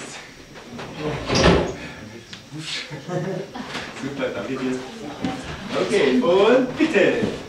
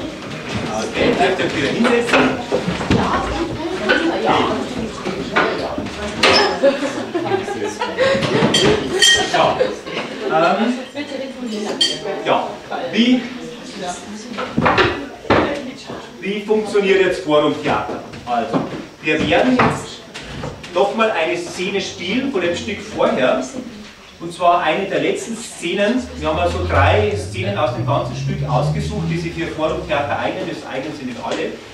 Und wie gesagt, eine aus dem letzten Teil, weil das vielleicht im Gedächtnis noch am frischesten ist. Das war die Szene, wo die Frau Rothammer beim Arzt ist. Die Frau Rothammer ist beim Arzt und der Frau Rothammer werden irgendwelche ganz äh, obskuren äh, Gesundheitsmaßnahmen aufs Auge gedrückt, also so diese Stoßwellentherapie und äh, also für euch das Hintergrundwissen, das sind eben so äh, Sachen, die von der Krankenkasse nicht bezahlt werden, weil es einfach äh, keinen Nachweis gibt, dass die wirklich helfen.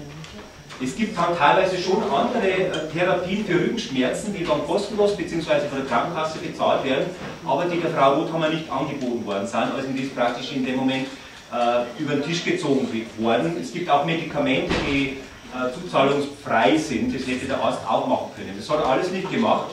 Die Arzthelferin hat es vielleicht auch mitbekommen, die wollte was sagen, wahrscheinlich dagegen, hat sie aber auch nicht wirklich getraut. Also diese Szene möchten wir jetzt einmal spielen. Und beim Forumtheater ist es jetzt so, wenn ihr eine Idee habt, irgendeine Vorstellung, wie man es anders machen könnte, als Person, also als Arzthelferin als Frau Rothammer, damit die nicht über den äh, Tisch gezogen wird, dann sagt Stopp. Die Schauspieler unterbrechen dann ihr Spiel und ihr dürft dann auf die Bühne kommen und eine Rolle ersetzen. Entweder die Frau Rothammer oder die Arzthelferin und dann wird die Szene ab dem Zeitpunkt. Kann man den Arzt auch ersetzen? Den Arzt kann man auch ersetzen, das ist auch immer ganz interessant. Äh, haben wir auch schon gehabt, die letzten zwei Tage. Äh, kann man auch ersetzen. Und dann geht die Szene weiter. Man kann aber auch die Szene sagen, ja, nicht ein bisschen früher starten oder ein bisschen später starten, so wie der, wo die Idee hat, das äh, am besten will.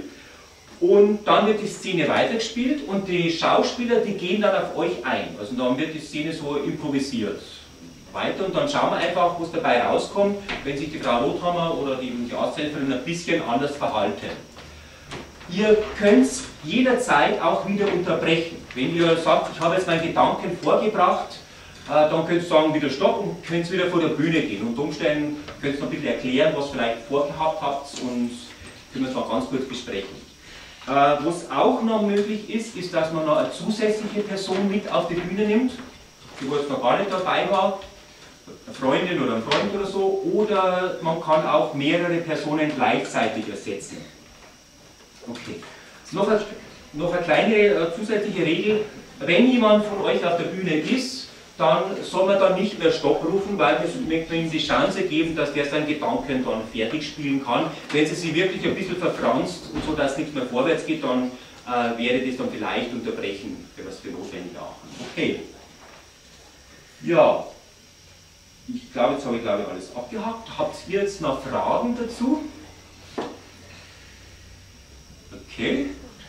Also man muss auch nicht unbedingt eine Lösung bringen. Manchmal ist es am Anfang ganz schwer, schwierig. Gestern haben wir das auch gehabt, da ist einfach jemand auf die Bühne gegangen, um sich einfach einmal in die Situation hineinzuversetzen. Weil wie oft geht es auch uns so, dass wir irgendwo hinkommen, sei es jetzt beim Arzt oder bei der Bank oder so, da haben sogenannte Experten oder Fachmänner vor uns, die uns irgendetwas aufschwatzen, das wo wir nicht selber kapieren oder weil wir die Fachleute sind ähm, und wir nicht genau wissen, wir über den Tisch gezogen oder nicht, wir müssen das selber verhalten können, damit wir die Wahrheit erfahren. Okay. Dann, wenn ihr keine Fragen mehr habt, dann würde ich sagen, lassen wir die Szene mal starten, bis jemand mutiger von euch, mutige von euch, einfach Stopp sagt und vielleicht sich kurz meldet. Dankeschön. Und bitte. Frau Hochhammer, bitte!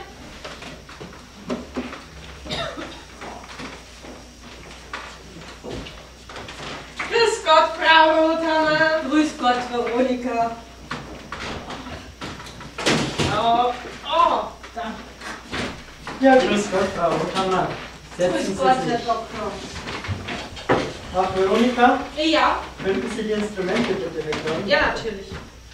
Ja, Frau Rothammer, was ist Ihr Anliegen? Warum kommen Sie zu mir? Herr Doktor, ich habe so unheimliche Rückenschmerzen. Mhm. Die hören gar nicht mehr auf. Hm. Ja gut, dann wollen wir uns das Ganze mal anschauen. Stehen Sie einmal bitte auf. Jawohl, also Sie müssten die Weste abnehmen. Ja, Sie tun sich da schon schwer. Frau, ähm, Veronika? Ja? Helfen Sie bitte der Frau Rothammer. Ja, natürlich. Ja. Achtung, Frau Rothammer. Dankeschön. Danke. So, Frau Rothammer. Wollen wir mal schauen. Tut das weh? Oh ja, hm. Mhm, und das? Oh, das ist mehr da unten. Hier? Oh ja, da. Ja, gut. Setzen Sie. Hm. Ja, die Schmerzen. Haben Sie die kurzzeitig? Flackern die kurz auf oder sind die dauerhaft da? Mittlerweile sind die dauerhaft da. Ich merke das nur noch. Mhm. Und seit wann haben Sie diese Schmerzen? Naja, seitdem ich jetzt wieder arbeiten bin. Mhm. Aber aufhören kann ich auch nicht. Ich Hm, komme gerade so über die Runden. Ja, gut. Also ich kann Ihnen da ein Medikament verschreiben zur Schmerzlinderung. Das ist etwas teuer, wirkt aber sehr gut. Haben Sie nicht was, was ähnlich wirkt, aber günstiger ist? Na, also Frau Rothammer, günstigere Medikamente gäbe es schon viele, aber es soll natürlich auch wirken, oder? Ich habe halt das Problem, ich kann die Zuzahlung nicht machen. Ja, also Sie können sich vielleicht von den Zuzahlungen befreien lassen. Also jedenfalls dieses Medikament ist das Beste für Ihre Schmerzen, das müssen Sie jetzt so nehmen. Die Gesundheit hat halt ihren Preis. Aber Ja, da gibt's doch. Veronika, sind Sie schon fertig? Nein. Oh, da haben wir einen Stopp. Super! Ist jetzt nicht abgesprochen, man in der Kasse gesessen ist. Ja, Frau Rothammer. Wo möchtest du weitermachen? Ähm, Direkt hier? ja, äh, würde mir das aufschreiben. So beauftragen. Okay. Oh ja, also dieses Medikament ist das Beste für Ihre Schmerzen, das müssen Sie leider so nehmen. Die Gesundheit hat halt nun mal einen Preis. Aber da gibt's Ja, doch. Veronika, sind Sie schon fertig? Äh, nein. Ja, Frau Okay, ähm, also da gibt es nichts, was irgendwie vergleichbar ist, was weniger kosten würde oder Nein, was nein, nein. übernommen wird. Da gäbe es schon viele günstigere, aber ich sage Ihnen, die bringen nichts. Okay, und wenn ich jetzt bei der Ärztekammer anrufen würde oder beim Verbraucherschutz, die würden mir das so bestätigen, wie Sie das sagen. Sie, die würden Ihnen das bestätigen. Okay. Aber, ähm, Ja, Veronika, ich dachte, Sie sollen. Sind Sie schon fertig jetzt endlich? Wir brauchen die Instrumente. ja, hier. nächsten Patienten. Bitte schön, sind schon fertig. Naja, Was- naja, was naja, also Sie? das ist noch nicht gut Was meinen sauber Sie? gemacht hier. Ja, ähm, Veronika, putzen Ja. Sie mal noch ein bisschen bitte. ja. Aber Veronika, was wollten Sie? Ja, ich wollte nur sagen, vielleicht sollten. Ja, vielleicht sollten Sie. Vielleicht sollten Sie doch ähm, nochmal fragen wegen, den- wegen den Medikamenten. Da wird schon was geben. Ja, also ganz sicher, dass es da nichts anderes gibt. Also ich möchte jetzt nicht in Frage stellen Ihre Autorität als Arzt, aber ich kann mir das im Moment nicht leisten und ich müsste mich dann schon nach einer Alternative umgucken. Naja, Sie können sich ja vielleicht befreien lassen von den Zuzahlungen. Da müssen Sie einfach die Quittungen aufgeben und dann bei der Krankenkasse einreichen. Aber ich müsste das ja vorstrecken, das kann ich nicht. Sie müssten das vorstrecken. Aber haben Sie nicht irgendwie Verwandte, irgendwie jemanden, der Ihnen Geld leihen könnte zum Beispiel? Ja, ich kann meine Tochter mal anrufen. Ja, fragen Sie doch mal Ihre Haben Tochter. Sie ein Telefon? Also ich habe gerade kein Telefon da. Veronika? Ja? Ja, geben Sie der Frau Rohrummer. Aber machen Sie das, äh, kommen Sie danach nochmal zu mir. Also ich habe nicht so viel Zeit jetzt hier zu warten. Ich glaube, Okay. der nächste Patient kommt jetzt gleich. Und Sie können mir ein Telefon geben. Ja, natürlich. Kommen Sie mit, Frau Rodemann. Ja. Ein, Telefon. Achso, das ist nur Ach Okay. ein Telefon. Okay. Ja, hier. Dankeschön. Ja, ja, hallo Maria. Du, sag mal, du kannst doch das mit dem Google. Ja, ja, pass auf, der, der Arzt hat mir hier äh, äh, XY verschrieben. Kann, kannst du mal gucken, ob es da was gibt mit dem gleichen Wirkstoff, was günstiger ist? Ja. Ja. Danke, Maria. Dankeschön. Tschüss. Vielen Dank. Kein Problem. Die hat mir jetzt gesagt, dass Z-Alpha genauso wirkt, den gleichen Wirkstoff hat. Haben Sie da Erfahrungen mit? Ja, das ist wirklich so. Ähm, die Pharmaindustrie Das ist wie wenn Sie zum Edeka gehen und gut und günstig kaufen, das oft genauso gut ist, aber wesentlich günstiger wie zum Beispiel Dr. Oetker. So ist es bei den Medikamenten auch mit der Pharmaindustrie, aber ich kann es vor dem Herr Doktor nicht so sagen, aber... Ich höre das gerade nicht mehr, weil sonst. Ja. Vorzimmer. aber es ist tatsächlich so. Also. So eine intrigante Krankenschwester hier. Okay, Dankeschön.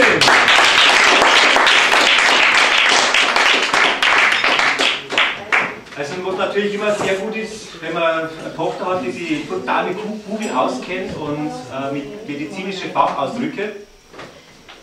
Aber wo jetzt die Szene äh, schon gelöst ist, weiß nicht, wie seht ihr das? Ich glaube, äh, dass in so einem Moment Also ich sehe es unrealistisch an, dass die Frau Rothammer da den Mut hat, dem Arzt so zu widersprechen oder so zu insistieren und vor allem auch die Veronika so mit reinzuziehen. Mhm. Also das sehe ich jetzt, also glaube ich, es wäre natürlich schön, ähm, aber das sehe ich als, also ist unglaublich, denke ich, das Ja. wird sie nicht machen. Ein Arzt ist so eine Autorität und wenn er das so abwiegelt, dann wird die Frau Rothammer, ich denke nicht, dass sie den, also wahrscheinlich nicht das allerhöchste Bildungsniveau hat, die wird bestimmt auch nicht so formulieren, wie du formuliert hast.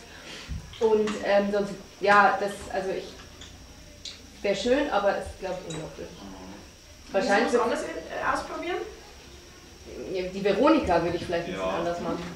Veronika ist ein bisschen dagegen, aber ein bisschen indifferent. Haben Sie Lust, dass er auf die Bühne kommt? Oder hast du Lust? Ja!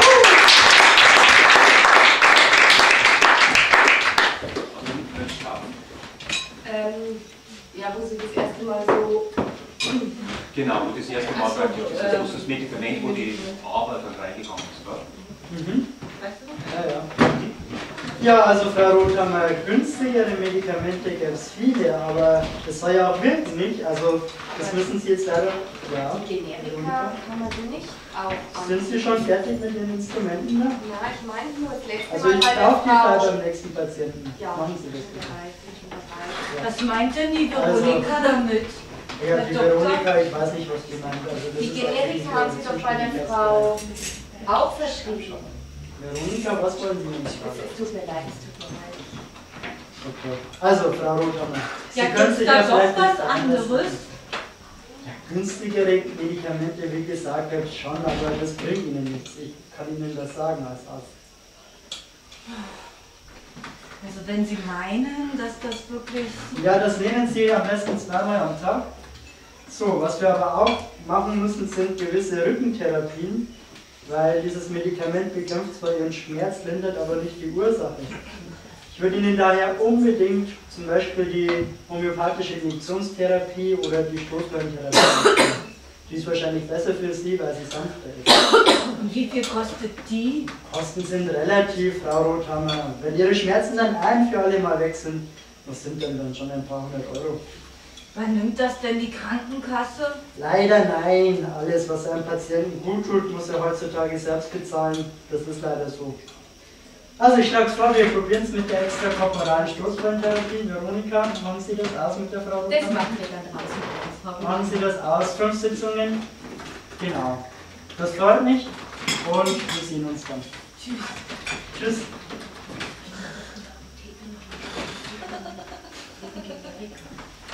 Frau Rothammer, wir machen das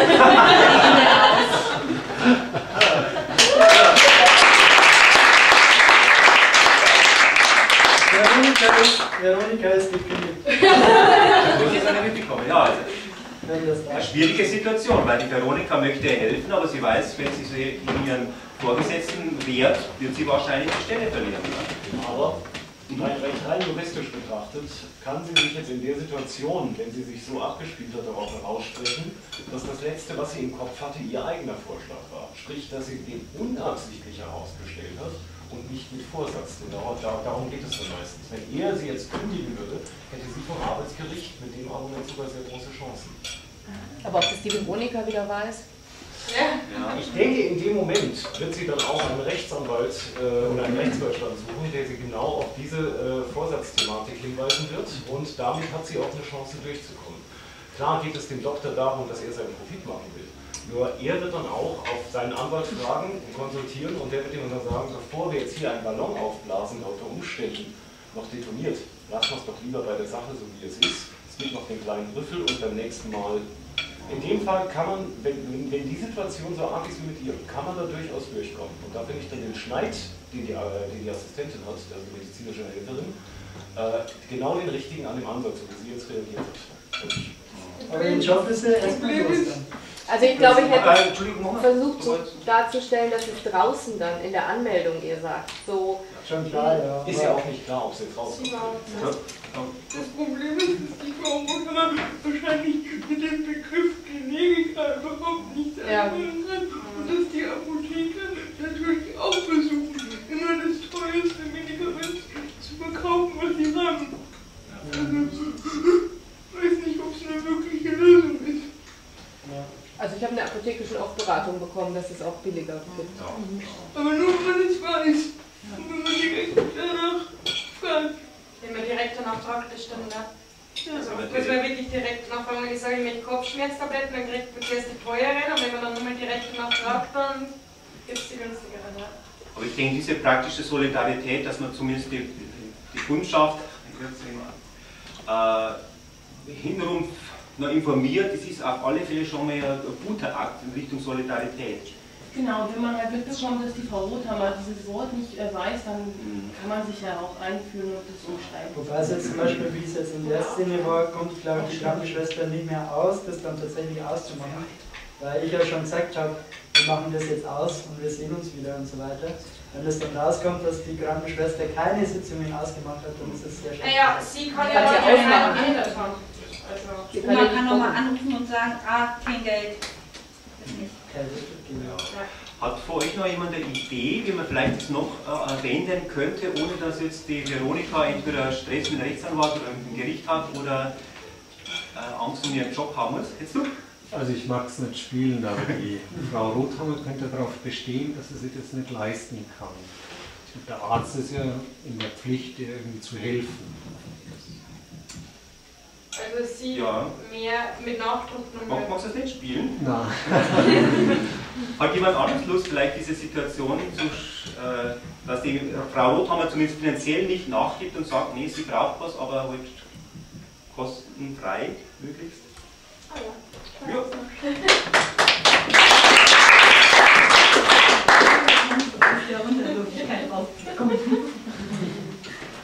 Achso, ja, ich glaube, wir können gleich wieder machen. Haben wir gleich Verstoß wählen oder so? Ja, also ich würde Ihnen daher die extrakorporale Stoßbeintherapie empfehlen, weil die sanfter für Sie ist. Was kostet die denn? Ja, die kostet, liegt so bei 200 Euro. die Therapie. Also das kann ich nicht. Nee. Können Sie sich nicht leisten? Nein, also ich komme gerade vom Flaschensammeln. Ich habe keine 300 Euro, Herr Doktor. Und dann schauen Sie mal, wie viel ich heute habe. Ja, aber Frau Oh Rothammer. je, drei. Ja, okay, das können wir ja Ich bin seit leisten. heute Morgen um 10 unterwegs. Aber wissen 200 Sie, wenn. Ihr Rücken doch wieder gut ist, dann können Sie doch auch wieder arbeiten. Dann Ja, aber erst nicht hinterher. Ja, erst hinterher, aber Sie können ja zum Beispiel auch erstmal ein Geld leihen und dann arbeiten Sie das Ja, von wem denn? Sie reden sich leicht.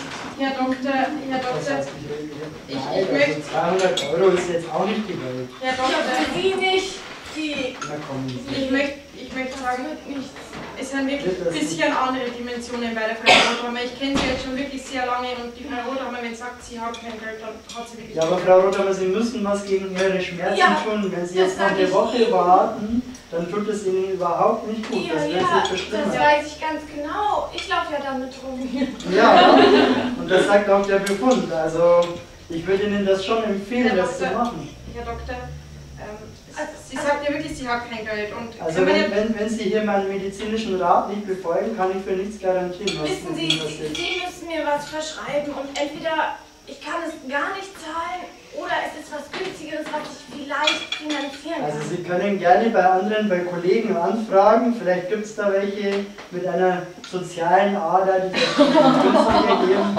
Aber bei mir ist das nicht drin. Herr Doktor, die Frau Rotham ist doch schon so lange Ihre Patientin. Und, und wenn sie wirklich sagt, sie kann sich nicht leisten, und wenn sie Veronika. wirklich schon Flaschen sammelt. Veronika, Sie Nur- wissen doch selbst, wie das ist, wir heutzutage als Ärzte, Ja, verdienen auch ich so weiß, viel. ich kriege einen Bruchteil von 40 Euro pro, pro Patient, ich meine, ich muss auch meine Familie, Herr ich Doktor. drei Kinder, muss ich ernähren. Herr Doktor, das ist mir Wissen Sie bewusst doch. und in Ihren, gro in Ihren großen Also, denn sind Sie bestimmt sehr anstrengend. Nein, Herr Doktor, aber nicht bei der Frau Rothammer. Wir kennen Sie doch schon so lange. Probieren Sie es doch mit Krankengymnastik. Mit Krankengymnastik. Krankengymnastik hört sich vernünftig an. Das haben wir schon immer so gemacht. Mit Wollen Sie das so versuchen? Ja, Okay, wenn es sein ich muss, dann schlage ich Ihnen ein.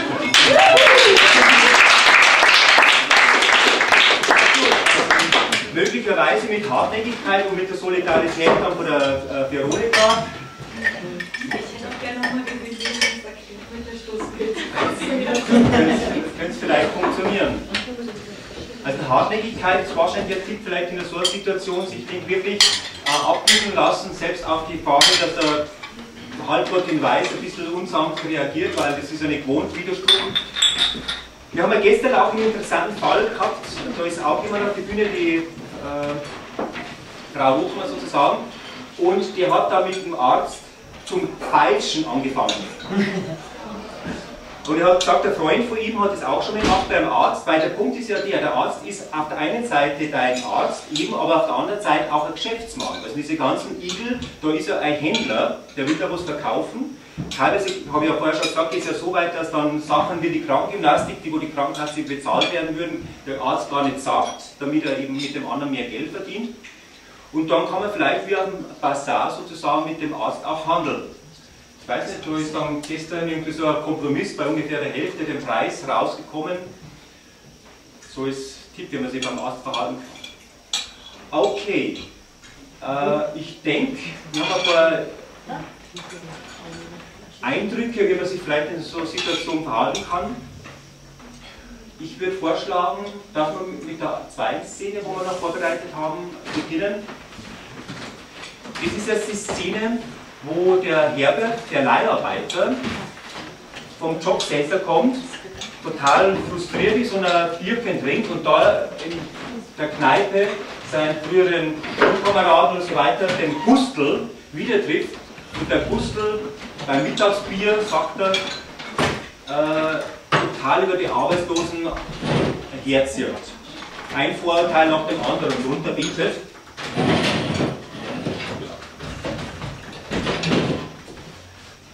Da kann man wieder ausprobieren, ob man vielleicht was findet, dass man den Gustl mundtot macht oder vom Gegenteil überzeugt. Oder einfach mal auszuprobieren, wie das eigentlich ist, wenn man mit so jemandem vorurteilsbeladenen Menschen versucht zu diskutieren. Okay.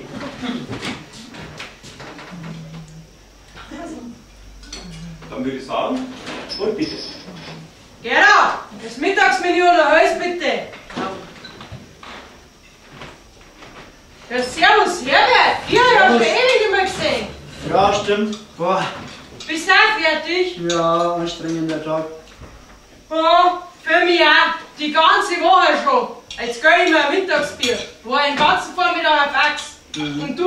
Was treibst denn du so? Naja, so dieses und jenes. Vorher habe ich mal beim Arbeitsamt vorbeigeschaut. Was? Bist du etwa arbeitslos? Nein, ich bin nicht arbeitslos. Ich habe mir bloß gedacht, ich bewerbe mich mal woanders. Ja, hätte mir auch gewundert, wenn du auch zu den faulen Säcke gehören hättest, die sich auf Staatskosten durchtreten. Mhm. Sag mal, was hast du gern? Schreiner, glaube ich, oder? Ja, Schreiner. Was darf ich trinken? Ja, jetzt bitte. Zum Essen nicht? Nein, danke nichts. Wo waren wir? Ah ja, beide Arbeitslosen. Du, ich sag's dir, das ist der Wahnsinn. Die arbeiten nichts und kriegen's vorne und hinten reingeschoben. Unser einer lernt ewig, damit er einen guten Job hat. Dann verdienst zwar nicht schlecht, hast aber ewig voll Abzüge, damit du die arbeitslose Bagagestufe federn kannst. Und es bleibt ja vom Bunker fast nichts mehr. Du bist wieder am Schimpfen. Ja, weiß, weiß. Ja, weiß, weiß, ohne Scheiße. Da vermehren sie wieder die Karnicke. Die gescheiten Leute aber, mit einem anständigen Job, kriegen keine Kinder mehr, weil sie es zeitlich nicht mehr schaffen. Du, meine Frau und ich hätten auch gern Kinder. Aber jetzt haben wir zuerst studiert und jetzt müssen wir arbeiten, damit wir Geld reinkommt. Wir wollen ja gerne auch was bieten. Und die anderen, wenn ich meine arbeitslosen Nachbarn anschaue, die haben fünf Kinder. Und wer finanziert die? Wir. Die machen sich ihr Leben mit ihren Fratzen und wir dürfen es zahlen. Da stimmt doch was im System nicht. Du, du, ich sag's dir. Mittlerweile ist in Deutschland so weit, dass man gar nicht mehr arbeiten braucht und die Fleißigen die Faulen finanzieren. Als Ausrede sagen sie dann immer, dass es keine Jobs gibt. Aber ich sag dir eins, in Regensburg gibt es so viele freie Stellen. Die sind sie doch nur schön zum Arbeiten. Oder? Was denkst denn du so? Ja, also ich muss weg. Servus. Was ist denn mit ihm? Keine Ahnung, der ist einfach gegangen. Und wer trinkt jetzt das Bier? Stell es mir her, das habe ich mir halt verdient. Ja, ja. Also wir können natürlich verstehen, dass man gegen so einen rabiaten Typen wie der Huschel ein bisschen schon äh, harter Knochen ist und so. Aber ich glaube, ich habe das Gefühl gehabt, beim Heu schon die Nägel gebrannt. Gell? Wo es da irgendwie, dass man da was dagegen setzt. Ja, ich habe nicht wirklich eine Idee, aber ich, Ja, ich würde schon, ich würd schon ganz anders anfangen. Ich, ja. ich, Willst, willst du das vormachen? Oder? Ich, ich habe ich hab noch keine Idee, aber ich, ich würde halt nicht anfangen zu. Als, Okay, als, sind- als der, ich würde dann sagen, sagen, dass ich keine Arbeit habe und, und auch sagen, warum das so ist. Und, und dann gucken, wie das wir jetzt gleich aus. Genau, Forum Theater, Wie es weitergeht. Forum Theater heißt diskutieren hinterher und vorher mal ausprobieren, ob es funktioniert. Oder? Passt das so für dich? Also wir möchten dich jetzt nicht drängen, Ja. weil also das ist. Mach einfach.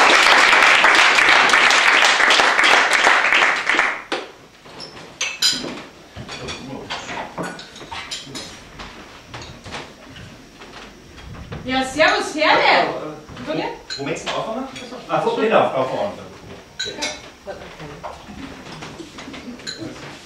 Ja, servus, Herbert. Die habe ich ja schon ewig nicht mehr gesehen. Ja, das stimmt. Ja, was treibst du denn so? Ach, die- dies und das. Heute habe ich einen Termin, habe ich einen Termin beim Arbeitsamt gehabt. Was? Bist du etwa arbeitslos? Ja, jetzt schon eine ganze Weile leider. Ja. Weil das mit der Zeitarbeit, weißt du, wie das ist. Das- Mit der Leiharbeit, da, da fliegt man halt als Erster raus. Wenn, wenn die Auftragslage nicht mehr stimmt. Okay. Sagen wir mal, das ist doch bloß eine Ausrede, oder? Du bist doch bloß zu faul zum Arbeiten. Man kriegt sofort nichts mehr. Ich schreibe Bewerbungen. Monatelang. Viele Bewerbungen. und Kriegt teilweise nicht mal Antworten. Meinst du? Die reagieren teilweise nicht mal. Weil ich nicht, das weiß ich. Das erlebe ich erst seit Monaten. Vielleicht bewirbst du dich auf die falschen Stellen? Das wäre eine Idee. Ja, was hast du denn gelernt? Schreiner bin ich. Ja, da kannst du zum Beispiel erkennen oder bei den Straßenarbeiten mithelfen oder Aufräumen oder so Sachen machen. Musst du wieder Schreiner arbeiten?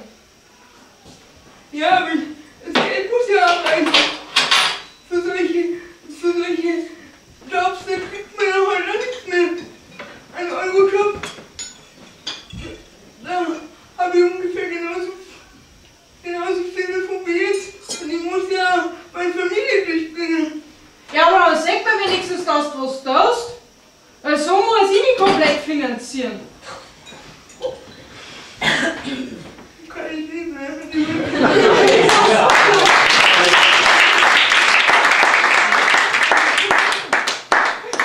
Also ist der Mario immer Anliegen hinterher, wenn es dann praktisch aus der Situation rausgeht, dass man nicht klar macht, dass sie als Mensch ganz ein anderer ist. Weil das ist natürlich schon unangenehm. Ne? Also wenn man da so eine Konfrontation ist, auch für uns Schauspieler oder für die Schauspieler. Ja, aber ich denke jetzt den Weg der Wahrheit zu gehen, das hat ja schon mit ganz viel Wind aus den Segeln genommen. Ne? Dass, dass man vielleicht aus der Situation mehr rauskommt. Einfach die Wahrheit sagt, so wie es halt ist und irgendwie, selbst wenn vielleicht der Gust jetzt in dem Moment jetzt nicht gleich zugibt, dass er jetzt da so Vorteile gehabt hat, vielleicht zu Hause will er es jetzt mal mehr überlegen oder so. Wir schauen. Aber es nimmt ganz viel aus. Das nimmt ganz viel aus. Ja. Auf der anderen Seite ist es natürlich so, dass man wieder Du bist immer leiser Ja. Also sie haben mich echt gut bremst. Also. Hat noch jemand eine Idee oder möchte sich der Herausforderung stellen? Ah, da, das, das, ich habe schon einen Blick dafür. ah, super. Das darf die Bühne kommen.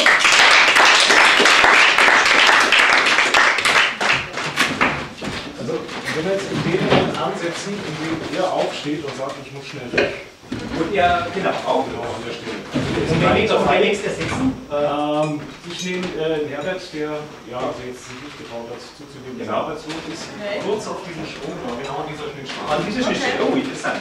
Ganz kurz vorher, oder? Super. Kurz bevor.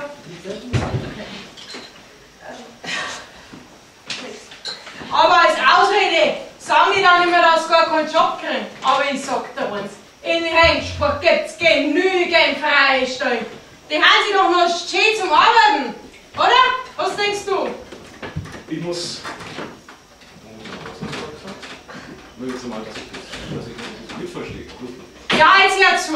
Was ich da sagen wollte, ist, dass die Arbeitslosen ständig faul haben und ich den zahlen muss. Das hab ich gesagt. Sag mal, Gusto, hast du jemals versucht, dich in die Lage eines Arbeitslosen zu? Ja, für was denn? Ich bin doch nicht arbeitslos, ich habe meinen Job. Ich habe was Gutes gelernt, ich werde nicht arbeitslos, ich brauche es immer. Bist du so sicher? Ja, gerade. Wirtschaftskrise, auch so ein Scheiß, hat mit mir nichts zu tun. Na, aber es gibt ja immer eine einprozentige Chance, dass es auch viele Ah, ein Prozent, was ist noch ein Prozent? heutzutage gibt. Denk mal nach. Gusto, wirklich. Wir kennen das aus der Schule. Du warst damals in der Stufe. Deswegen hast du mir jetzt gerade was gebracht. Denk doch mal nach. Ich habe nämlich auch drüber nachgedacht. Und ich habe was anderes festgestellt. Was ist, wenn es jetzt wirklich so ist, dass dein Chef morgen zu dir sagt, ich habe jemand besser gefunden und du bist gefeuert und ich muss dir keine Rechenschaft darüber ablegen, warum. Wie reagierst du da? Okay, okay, vors Arbeitsgericht. Da man den einfach so rausschmeißen. Du gehst also vors Arbeitsgericht. Ja, freilich. Und wenn der mit seiner Armada von Anwälten daherkommt, die Ja, meiner so immer noch einen anderen Job, es gibt doch noch freie Stellen. Und das ist, wenn du keinen erstbesten freien Job kriegst. Ja, meiner nicht, ich hol den anderen auch. Ich bin mir nicht schön zum Arbeiten, ich kann was anderes auch tun. Und wenn es nicht hier ist, wenn es irgendwo anders hin musst, wie weit würdest du gehen in der Situation? Wenn es jetzt wirklich mal passiert. Ist ja nicht so, dass ich dir das wünsche. Komm, was das willst du da jetzt für ein Psychoquark abgedruckt, sag mal? Ich will doch die Welt bloß mein Bier trinken und mein Essen essen. Das gibt's ja nicht, was willst du da jetzt eingedrucken? Ich trinke doch bloß mein Bier und iss mein Essen, das... Das will ich nicht will einfach nur, dass wir so irgendwie über Ich weiß, dass wir früher in der Schule über viele geredet haben und uns überlegt haben, wie die drauf sind später. Und leider, und dass du gesagt hast, der wird aber was und der wird bestimmt nichts und der wird immer was. Und da kann ich mich genau dran erinnern. Und jetzt denke mal, wie das ist, wenn es plötzlich du da drin bist und die da hinten nicht so. Okay, das ist doch mir wurscht, was die Leute sagen. Das ist doch mir wurscht. Das glaube ich nicht. Da trinken wir jetzt schon mal drauf. Lass der nicht. Ja, nein, das lassen wir lieber sein. Wie geht's denn dein, deiner Frau und deinen Kindern? Mindestens genauso gut wie deine. Ja, dann passt. Ja, gerne, bring mir nochmal ein Hös, bitte. Ich, ich spreche jetzt hier okay. Jetzt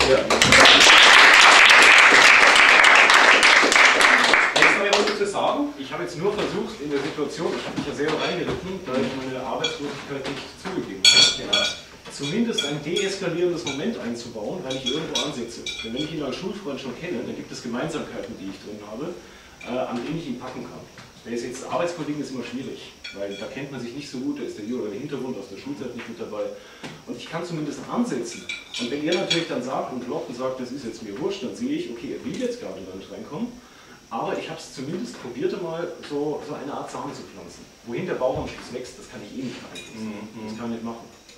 Aber ich habe zumindest habe ich jetzt probiert, ihn mal mit einer Situation zu konfrontieren, zu der ich vorher nicht gestanden habe. Wobei es 50-50 jetzt ausgegangen ist. Klar, weil er hat ja gesagt, ich, er glaubt ja wirklich daran, dass er jederzeit, wer arbeiten will, der bekommt auch Arbeit. Das ist so sein Credo oder so seine Auffassung. Aber ja. Das ist, also ich hätte natürlich noch weiter damit konfrontieren zu können, sagen, wie ist es jetzt Grundfeld? gesagt, wenn Sie sich jetzt in einigen Jahren wiedertrifft, wenn Gustav seinen Job verloren hat. Dann mal nur weiterreden. Das ist ja auch immer. Also die Studien und so weiter, wo jetzt die über den Bereich so äh, stattfinden, die Mittelschicht hat eine unheimliche Verdrängungsleistung. Sie hat eine totale Angst vor dem Abstieg und haben ja sehr stark abstiegsgefährdet und umso mehr, das, um das wegzudrängen, umso mehr schimpfen sie über Arbeitslose. Und auch dieser Heidmeier, den wir in dem äh, Infoblock mal zitiert haben, der hat die ganzen Mechanismen auch so erklärt, dass eben zurzeit so großes Bashing gegen die Unterschicht ist, weil eben die Mittelschicht sich so abgrenzen will, ne, ich kehre nicht dazu. Selbst wenn statt dazu gehören, jetzt rein finanziell, wenn sie abgestürzt sind und nur noch so 800 Euro oder 700 Euro vielleicht mal im Monat haben, dann sagen, glauben sie immer noch, dass sie zur Mittelschicht gehören. Ja, das war, also ich habe, der erste Ansatz, die Ehrlichkeit war eigentlich die, war der, die beste, direkteste und straighteste Weg eigentlich dahin, um das aufzubrechen. Also das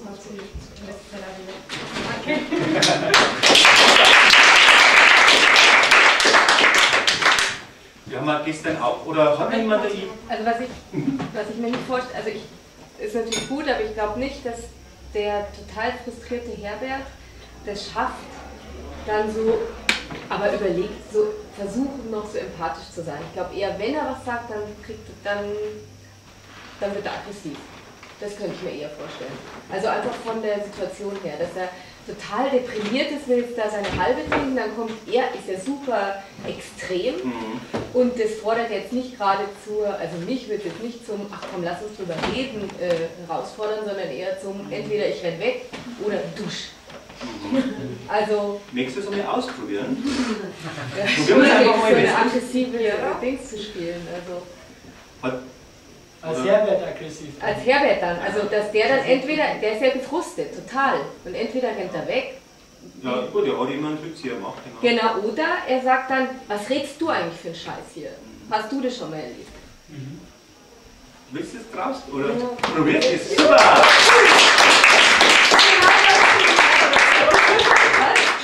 Zur Not hilft die Gerda. Genau, wir haben ja auch noch, habe ich vorher vielleicht ein bisschen vergessen zu sagen, die Gerda ist auch wieder so wie vorher die Arzthelferin, die, die ist billig, das ist Totschocker. Aber da ist das Machtverhältnis jetzt da die Würze ein bisschen leichter. Ja, genau. Was ich noch sagen möchte, Ja. wenn es zur Gewalt kommt auf der Nein, Bühne, das nicht, dann aber- eher in Zeitlupe. Kann man machen, aber so in Zeitlupe. Ich wollte jetzt nicht. Ja, weiß man, bei das mir weiß man ist vorher. schon fast viel Okay, danke.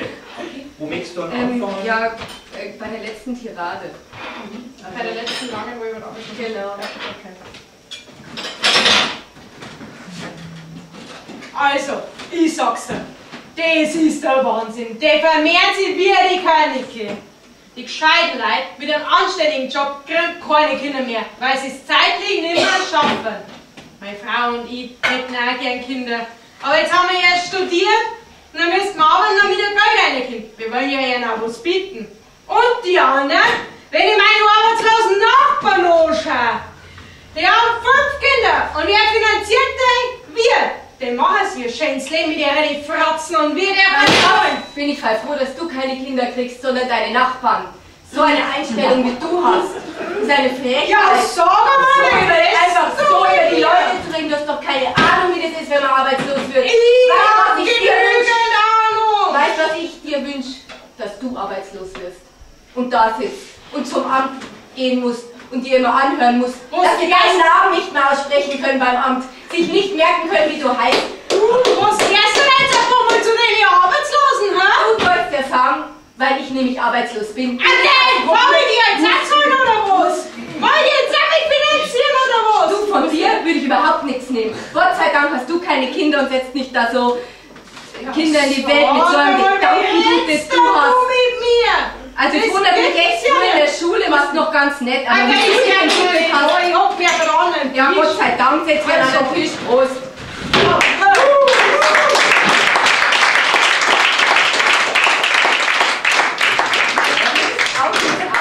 Aber ich glaube, für den Herbert würde ich mir das gut tun. Ja, für uns, uns Zuschauer tut es auch gut, oder? Ja. Also wenn man mal, also mir jetzt so gegangen, wenn ich die gesehen habe, habe ich gedacht, genau, also manchmal muss man vielleicht bei sich in die Parolen einfach mal auch mit draufhauen, äh, übers Maul fahren, weil es einfach gut tut.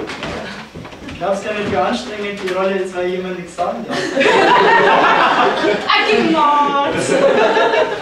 Ja, wir haben das schon mal gemacht, aber. Oder? Ja. Wäre dieser da? Ja,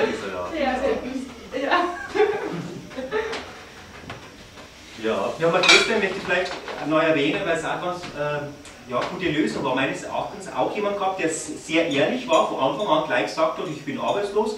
Und er hat dann zum Schimpfen angefangen und hat dann, der, äh, der Ersetzer hat dann gesagt, ja, ich sitze den ganzen Tag zu Hause, ich habe ein Ja, gutes Leben, der du hast einen Stress, ich habe ein super Leben. Und dann finanziert die. Und sagt der andere, ja, ist doch super, dass wir du finanzierst. So richtig auflaufen lassen, da war dann auch der, der Schlüssel war dann machtlos. Also einfach ganz frech. War auch schön. Okay, ich glaube, das hat uns auch wieder tolle Eindrücke, ganz verschiedene Arten, wie man das vielleicht lösen kann. Ich möchte jetzt natürlich nichts abwürgen. Wenn noch jemand jetzt eine neue Idee hat, dann können wir es noch machen, sonst würde ich vielleicht zur nächsten Szene noch überleiten. Okay. Die letzte Szene, wo wir es noch vorgestellt haben, ist wieder ein bisschen, ja, ist natürlich auch eine ernste Szene gewesen, aber vielleicht noch ernster. Die Szene, wo die Mutter zwangsgeräumt wird. Sie hat gesagt, war depressiv, hat die Rechnung nicht bezahlt äh, und der Vermieter hat dann die Zwangsräumung beantragt, beantragt worden und die Gerichtsvollzieherin ist jetzt vor der Tür mit dem Schlosser, der Schlosser wie gesagt auch wieder so diese independente Persönlichkeit, das kennt schon unser Schema so ein bisschen, äh, während die Zwangsräumung vollstrecken. Okay.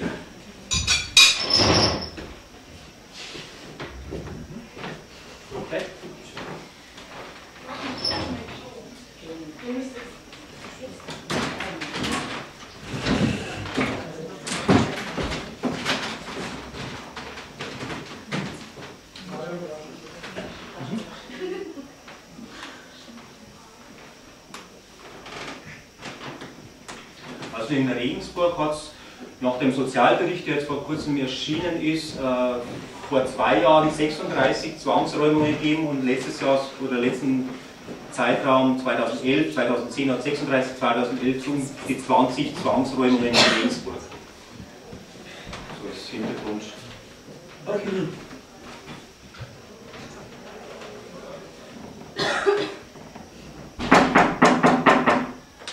Also Herr Meier, ich muss Ihnen schon sagen, das ist immer das Gleiche mit den Leuten. Ja, vielleicht ist auch niemand da. Nein, da ist immer jemand da, glauben Sie mir. Die sitzen zu Hause rum und tun nichts. Frau Huber! Also das hat keinen Sinn. Kommen Sie, machen Sie bitte auf. Ja, wenn es sein muss.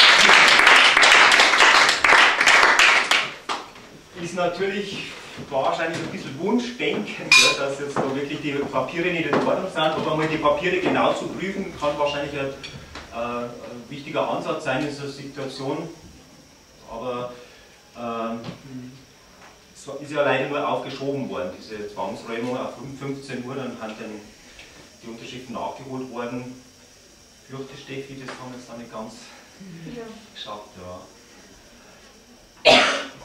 Darum würde ich sagen, hat euch schon jemand. Ja, ja, super. Ich hätte zwei Idee. Hm? Ich hätte zwei Idee. Genau, Ja. fangen wir gleich auf. Genau.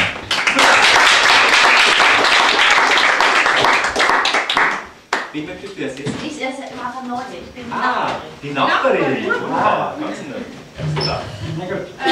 Ähm, gehen Sie von vornherein mit oder kommen Sie nach und merken Sie, weil die Türe offen ist? Ja, genau. Okay. Herr Meier, seien Sie so gut und machen Sie bitte auf. ja, wenn es sein muss.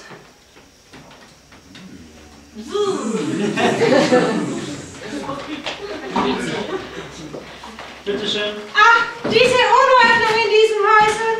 Ha, die ganzen Briefe, die hätte sie mal besser aufmachen sollen.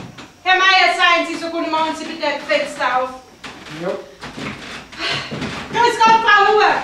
Mein Name ist Schramm. Ich komme vom Amtsgericht und habe hier einen Beschluss, dass Sie die Wohnung sofort räumen müssen. Was machen Sie in meiner Wohnung? Wer klopft denn Sie haben Ihre Miete nicht vollständig bezahlt. Auf Mahnungen haben Sie nicht reagiert. Der Vermieter ist zum Gericht gegangen. Ich bin die Nachbarin. Grüß Gott, was wollen Sie denn hier? Ich bin eine Nachbarin und eine Freundin. Ja, können Sie einfach so da reinspazieren oder was? Ich habe ja auch gemacht, sie hat ja geklopft. Was Ja, Sie denn hier so rum? Sie wissen doch, dass es Ihnen zurzeit nicht gut geht. Ich weiß gar nichts und das interessiert mich nicht. Ich habe die Anordnung, dass ich die Frau Huber mitnehme, denn sie muss die Wohnung jetzt sofort verlassen. Das glaube ich nicht, dass Sie das können. Eine Mutter mit zwei Kindern von heute auf morgen rausschmeißen. Wie auch immer, das interessiert mich nicht. Ich habe diese Anordnungen und was Sie sagen, ist mir auch egal. Frau Huber, kommen Sie jetzt bitte Also Sie mit. sehen ja, sie hat die Briefe gar nicht gelesen, weil es ihr psychisch nicht so Ja, gut das geht. ist nicht mein Doch, ich Problem, denke da schon. ist sie selber schuld. Ich denke schon, wenn wir jetzt, Sie denn so? Wenn wir jetzt Ja, zum Doktor gehen Sie und Herr Meier!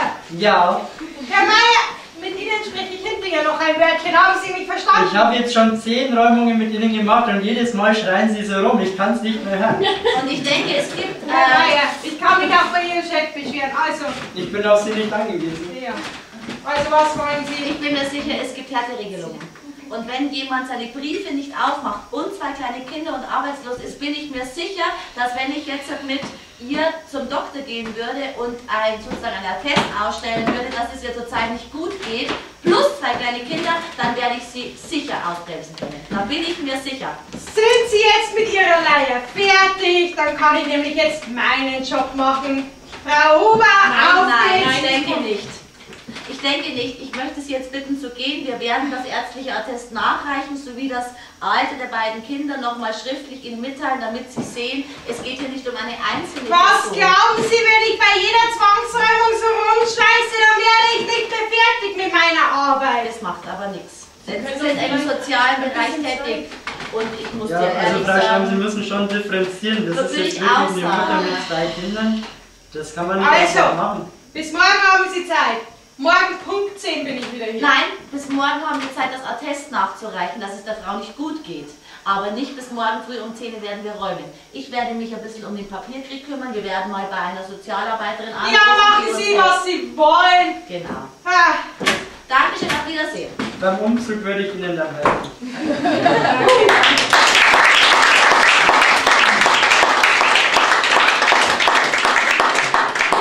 Ja, also ich denke, praktische Solidarität durch die Nachbarschaft, hast du da Na, aber ich denke mal, es gibt wirklich eine Härteregelung, wenn man psychisch nicht fit ist, dass man sagen kann, es, es zeigt alles in der Wohnung. Der Leute darauf hin, dass die nicht, nicht fit waren und nicht in der Lage waren, diesen ganzen formellen Büro, äh, Bürokraten-Ding zu machen. Und da glaube ich, äh, da kann der Staat gar nicht so streng sein, vor allem wenn sie zwar kleine Kinder haben. Es gibt da ähm, schon Aber Problem? Es, gibt, es gibt ja bei jedem äh, Beamten die, die Handlungsfreiheit, also so ein Handlungsspielraum. den- genau. Und gerade wenn man im Sozial in so einem Sozialamt und so arbeitet, muss das ja möglich sein. Da kann man ja nicht nur so im Schwarz und Weiß. Ja, natürlich. Also, Also deshalb, ohne dass ich das weiß, denke ich mir, der gesunde Menschenverstand sagt und das, dass das nicht gehen kann, wenn zwei Kinder außer Haus sind, in Kindergarten und Schule, dass ich die Mutter rausschmeiße.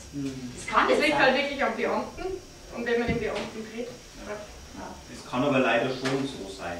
Also So, dass sie Das ist- gehen hätte müssen. Ja, ja. Und das Problem, und das wollen wir eigentlich auch problematisieren, ist, man muss eigentlich psychisch gesund sein, um sich in so einer Situation zu helfen. Jetzt, Ja. Wir haben ja jetzt jemanden, der, vielleicht gibt es in der Notunterkünfte und so weiter, aber wir haben jetzt jemanden bewusst dargestellt, der einfach psychisch so fertig ist, dass er sich nicht mehr helfen kann. Und eben auch eine Gerichtsvollzieherin, die wirklich rein ihren Job macht, die es auch gibt. Also, ähm, die machen ja auch diesen Job so radikal, weil sie ja selber wissen, wenn ich meinen Job nicht so radikal mache, bin ich vielleicht auch bald auf der anderen Seite. Ja, oder Also- sie müssen sich halt einfach auch abgrenzen. Also das hält ja kein Mensch auf Dauer aus, solche Zwangsräumungen. Und das ist halt einfach das Brett vor das Gesicht und anders wird es das nicht aushalten. Das Job. Ich denke auch, da hilft nur praktisch praktische Solidarität durch Freunde, durch Bekannte, durch Nachbarschaftshilfe, dass man so Zwangsräumungen verhindern kann. Das letzte Mal war der Vermieter ver- dabei. Das war total interessant. Das war selber ein Vermieter. Und ähm, der hat am Anfang noch, wie wir vor der Tür gestanden haben, mitgeschimpft über die. Die hat ja die Miete nicht bezahlt und da haben wir noch gemeinsam geschimpft und geschimpft und geschimpft und dann hat er die wirklich sitzen sehen. Und dann hat er wirklich gesagt, naja, also da müssen wir jetzt doch was machen. Und ähm, hat dann Solidarität auf einmal mit ihr gehabt, obwohl er vorher zu mir gehalten hat. Also das war auch total interessant, dass der Vermieter dann selber gemerkt hat, ui, ich kann vielleicht doch noch mal einen Schritt zurückgehen und schauen.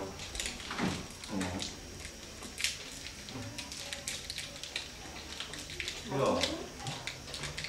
Also Ich, ich persönlich finde jetzt eigentlich, dass es eine sehr schöne Schlussintervention war, die uns irgendwie Hoffnung gibt, weil das auch ein bisschen so unser Anspruch vom Theater ist, dass wir zu Solidarität aufrufen. Wir müssen das, die Sachen eigentlich selber regeln. Wir haben momentan in der Gesellschaft, in der Wirtschaftssystem, wie auch immer man das nennen will, wo es eigentlich keinem so wirklich gut geht. Hat man eigentlich das Recht, sich irgendwie anwaltlich vertreten zu lassen, um das noch irgendwie aufzuschieben? Oder muss man dann die Anwaltskosten auch noch zahlen? Oder müssen die in so Sozialgerichtsverfahren dann kostenfrei oder wie ist das? Ja, prinzipiell hat man schon, wenn man jetzt von Hartz IV lebt, das Recht, ähm, so einen Beratungsgutschein zu beantragen. Aber es ist natürlich in der Situation dann schon relativ spät und dann weiß ich, weiß ich nicht, wie. Und es dauert halt und das Problem ist, ob sie wirklich, wenn sie so depressiv ist, da Nee, die Nachbarin Genau, die. Nachbarin, ja. Nur bis man sowas, also bis der Antrag durchgeht und das bearbeitet wird. Ja, das geht schon relativ schnell.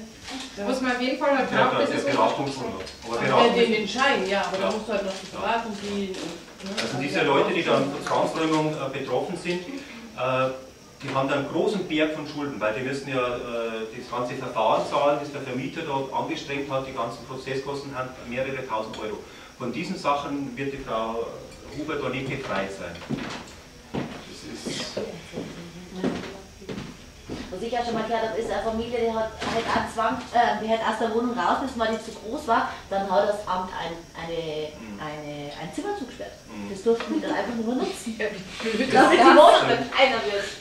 Das ist in Absprache mit dem Ja. Vermieter natürlich, weil der Vermieter hat natürlich auch akzeptieren müssen, dass er weniger Miete dann bekommt. Ich habe so einen Fall im Frontal 21 oder so haben sie es berichtet.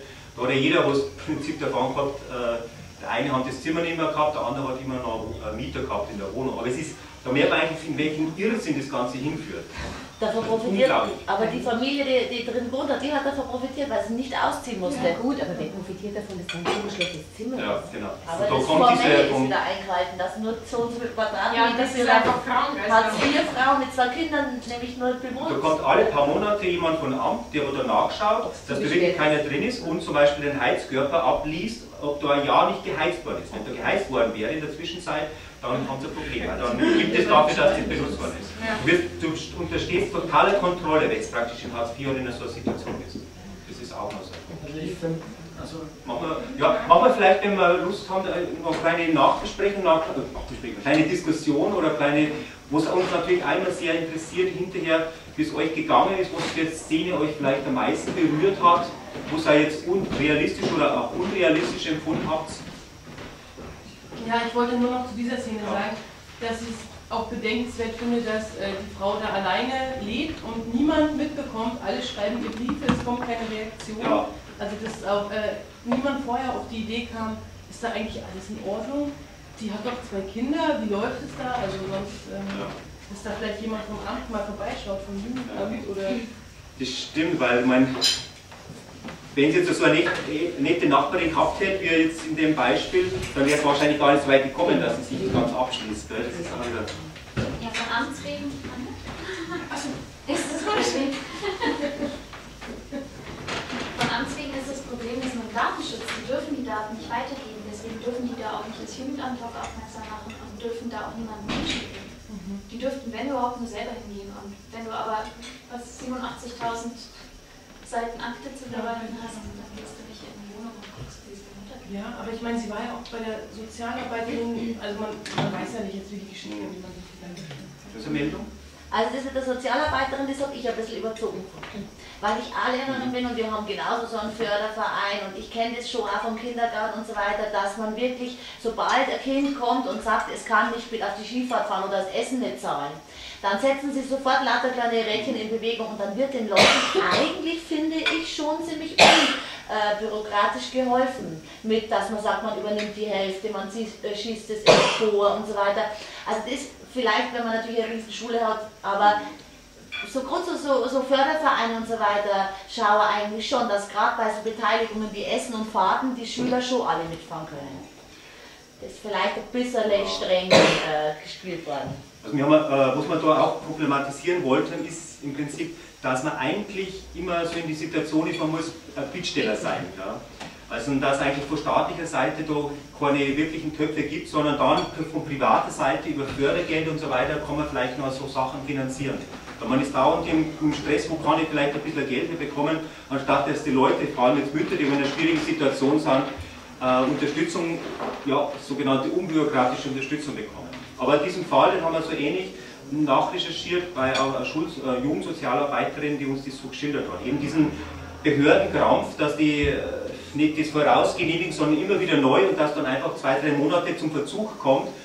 Wie gesagt, weil dann Schule noch nicht angegangen ist und das ständig wieder neu gemacht werden muss.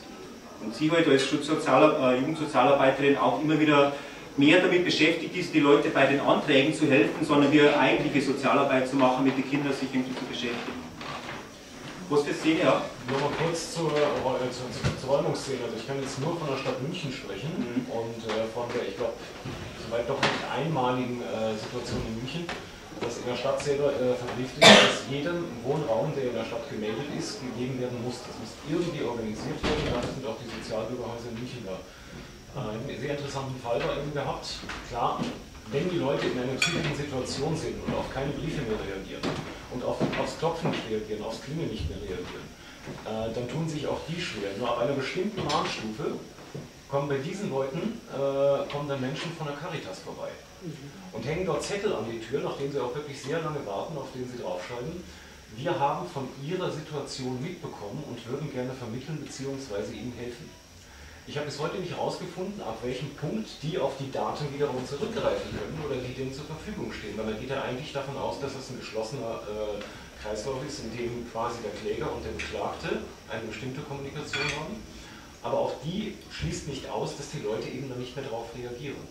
Man versucht von anderer Seite Hilfestellung zu leisten, merkt aber auch, dass man selbst da scheitert, weil der, der da drin sitzt, der kriegt das vielleicht überhaupt nicht mehr mit. Für den ist in dem Moment alles fremd.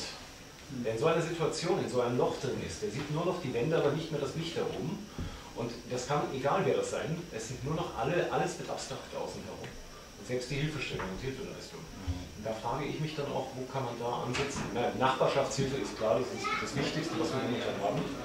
Und auch die Situation muss natürlich dann auch glücklich sein, weil gerade Gerichtsvollzieher suchen sich Situationen raus, in denen wenige Nachbarn da sind, die sich ungestört ihren Job nachlegen. Ähm, ich denke, wir haben Möglichkeiten, in den sozialen Netz da auch was zu machen und das zu durchführen. Das müssen wir wirklich auch uns bewusst vor Augen halten und das nicht einfach wegschleifen lassen. Weil sonst, sagen wir gleich relativ mahnt aus unserer unglücklichen jüngeren Geschichte, verschwinden wieder Menschen und wir bemerken es erst zu spät. Und diese, diese, diese soziale Wachsamkeit, diese Ader, die sie eigentlich nach dem Zweiten Weltkrieg hier aufgebaut hat, das ist unser, unser heutiges, gegenwärtiges kulturelle Erbe. Und das habe ich in sehr vielen Szenen gesehen, dass eine, eine regelrechte Segregation stattfindet zwischen denen, die entweder haben oder unter denen stehen, die haben und dieses System verteidigen, und denen, die aus diesem System ausgeschlossen werden. Dort ist eine Kommunikationskluft entstanden. Und die ist gefährlich. Mhm. Ja. Wenn noch jemand so als Szene was sagen, was wo ihn berührt hat, sie berührt hat? Also ich wollte ja noch, auch noch zu der Szene sagen, dass eigentlich in solchen Fällen ähm, ist halt die Frage, ob man vorher weiß, was da auf einen zukommt. Aber wenn man es abschätzen kann, oder eigentlich sogar soll es pauschal so sein, dass immer irgendwie ein Psychologe oder ein Sozialarbeiter mitgeht, mhm. finde ich. Und bei so Zwangsräumungen. Weil wenn dann nur die Gerichtsvollzieherin da ist, die dann stur ihr Programm durchzieht, dann ist das für die ein, die fallen da aus allen Wolken. Das ist für die der schlimmste Tag ihres ganzen Lebens sein, also im Extremfall. Deswegen wäre es auf jeden Fall angebracht, da irgendwie eine Unterstützung, eine neutrale Person, die da irgendwie ähm, ja, psychische Beihilfe leistet. Oder zumindest, dass die Gerichtsvollzieherin ähm, wenigstens Hinweise gibt, wo sie sich jetzt hinwenden soll und ja. nicht sagt, da müssen sie sich um alles selber kümmern. Oder wo es Leute gibt, die dann um, äh, unterstützen und vermitteln oder ja. was können. Ja. Also ähm, es ist, scheint so, schon so zu sein in Regensburg auch, dass jemand normal mal mitgeht vom Jugendamt, wenn sie es mitbekommen, dass da was nicht in Ordnung ist. Leider ist aber, wenn Sie die Nachrichten verfolgen, die blicken auch ein bisschen über Deutschland hinaus, Spanien oder so, weil das eventuell auch eine Zukunft sein könnte, die uns irgendwann einmal blüht, wenn die Wirtschaftskrise auch nach Deutschland durchgeschlagen hat. Äh, wo jeden Tag mehrere hundert Wohnungen geräumt werden. In Berlin haben wir aber momentan aktuell einen Fall, wo eine Familie, eine türkische Familie rausgeschmissen werden soll, weil sie irgendwie die Miete ein bisschen zu spät überwiesen haben. Das ist ein ganz hauptstreibender Fall, wo jetzt schon zweimal die äh, Zwangsräumung verschoben worden ist, weil sich die Nachbarschaft einfach so dagegen gewehrt hat, die Öffentlichkeit, die Medien äh, mobilisiert hat. Also es geht schon mehr in die Richtung, dass man knallhart diese Dinge durchzieht. Du hast Schulden gemacht, du musst dafür einstehen, ganz egal, wie auch immer. Such dir billigere Wohnung, du bist selber schuld. Also das ist die ganze Ideologie, wo momentan so über uns drüber spart. Also ich wollte dazu noch äh, was erzählen, weil das ist mir in meinem Praktikum begegnet und das ist eigentlich eine ziemlich schöne Geschichte. Das ist ein äh, Klient, sage ich jetzt mal, der ist hoffnungslos überschuldet und äh, hatte halt auch Mietschulden in ungefähr 2500 Euro oder sowas und wurde dann auch zwangsgeräumt und ist dann halt äh, in der Einrichtung, wo ich jetzt mein Praktikum mache, gelandet und ähm, ist da halt auf Hartz IV und Sozialhilfe untergebracht. Also ja, und dann ähm, haben wir halt angefangen, alle seine Gläubiger anzuschreiben und die einfach mal ganz frech um einen Schuldenerlass zu bitten, weil er halt nur Hartz IV hat und das alles, also letztendlich muss er mit 100 Euro im Monat so ähm, für, also hat er Taschengeld quasi und verfügt sonst über kein Geld. Und ähm, die haben dann irgendwann nach drei Wochen oder sowas angerufen und gesagt, ja, sie warten noch auf Kostenvoranschläge von, dem, von der Räumungsfirma und von Gerichtskosten und Anwaltskosten und so weiter und so fort. Und sie, darum haben sie noch nicht geantwortet. Und dann kam irgendwann ein Schreiben, ja, wir erlassen Ihnen Ihre, Ihre Schulden in Höhe von 8000 Euro. Und das war echt super cool. Also, ja. Aber der war dann nicht psychisch krank, schätze ich, ne? Wenn er sich so aufraffen kann, sowas zu machen. Ja, nee, also äh, von selber hätte der das nicht gemacht. Okay. okay. Also der ist, der ist nicht psychisch krank, aber der ist nicht sehr selbstständig. Okay. Sag ich mal so. Also das von alleine- gemacht. Mhm. Ja, genau.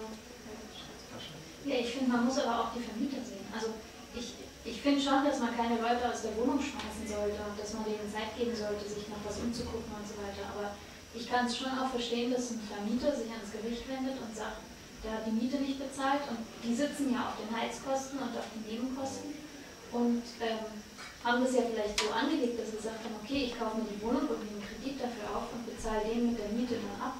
Und die können ja da auch in große Schwierigkeiten kommen. Also äh, klar, die, irgendwo beginnen die Probleme eigentlich ganz woanders. Die Leute haben kein Geld mehr. Also Leiharbeit, Hartz IV, das Ganze hat so einen riesigen Niedriglohnsektor ähm, geschafft. Wenn auf der anderen Seite steigen die Mieten und so weiter. Jetzt haben die Vermieter auch das Problem, dass keine Nachfrage oder keine finanzkräftige Nachfrage mehr haben. Und ob jetzt die Vermieter, also man, die werden normalerweise immer als böse hingestellt, aber äh, haben, wie du schon sagst, waren ja auch in der Zwangslage, äh, die leiden natürlich auch dann drunter, wenn keiner mehr Geld hat, Ja, kein Mindestlohn da ist und so. Und die Bürokratie finde ich einfach unglaublich. Jetzt wenn man äh, sagt, man hat studiert und so, und dann sitzt man vor so einem Antrag, da hat man sich ja oft schon schwer. Aber wenn man dann denkt, wer beantragt denn die ganzen, wer bearbeitet die Anträge, also äh, das sind ja oft eben Leute, die nicht so hohe Schulbildung haben und dass sie dann oft überfordert sind mit diesem Ganzen, weil normalerweise kannst du ja dann vielleicht den Mietzuschuss für Hartz IV gleich auf das Konto vom äh, Vermieter über, über, also es gäbe ja immer wieder Möglichkeiten. Aber ich habe mal mit jemandem zusammengekommen, der hat Videopost ausgemacht, die Behörden kommen dann, der hat das schön gestapelt, der hat, weil das war, der hat den überfordert. Das war aber äh, Typ Anfang 20. Also das ist einfach dieser, dieser Bürokratismus, der viele total abschreckt. Und dann kommt schon der dritte Brief, oh, den mache ich schon gar nicht mehr auf. Und das so äh, kommen die ja oft ja in den Teufelskreis, weil es zeigt ja, wenn die dann Hilfe annehmen, die Leute sagen ja nicht so. Die, erlassen dann ja Schulden oder die sagen dann ja, okay, es wird schon wieder, gebe ich dir mal eine Mietminderung. Die, wenn man mit den Leuten redet, sind die ja oft gar nicht so viel her. Aber wenn nie was kommt, dann geht man ja erstmal davon aus, dass es ein fauler Typ ist, der sich um nichts kümmert. Stimmt ja zum Teil. Aber was ist die Ursache? Dieser Bürokratismus, den du auch am Anfang äh, mal gezeigt hast. Den finde ich schlimm. Ich habe jetzt leider die leidige Pflicht, praktisch die Veranstaltung jetzt leider zum Ende zu führen, weil um Viertel nach neun- äh, 19.15 äh, Viertel nach sieben, kommt eine andere Veranstaltung rein und bis dahin müssen wir alles abgebaut haben. Die Heidi hat schon geschaut jetzt ein bisschen, wann wir endlich. Äh, wir, ho wir hoffen, dass wir euch ein bisschen haben was mitgeben können heute Nachmittag und jetzt könnt ihr ja heute Abend noch euch wieder fröhlich saufen. Nach dem Theaterstück. Äh, eine Freundin von mir, die vorher auch da war, die war leider schon weg müssen, die hat gesagt, die hätte eigentlich jede, fast bei jeder Szene zum Weinen anfangen können, weil ich auch, sie war auch lange Zeit nicht so mit Geld äh, gesegnet und hat sich sehr hineinversetzen können. Und das hat mich natürlich auch wieder sehr getroffen und ja, wir hoffen, dass die Zeiten besser werden. Dankeschön.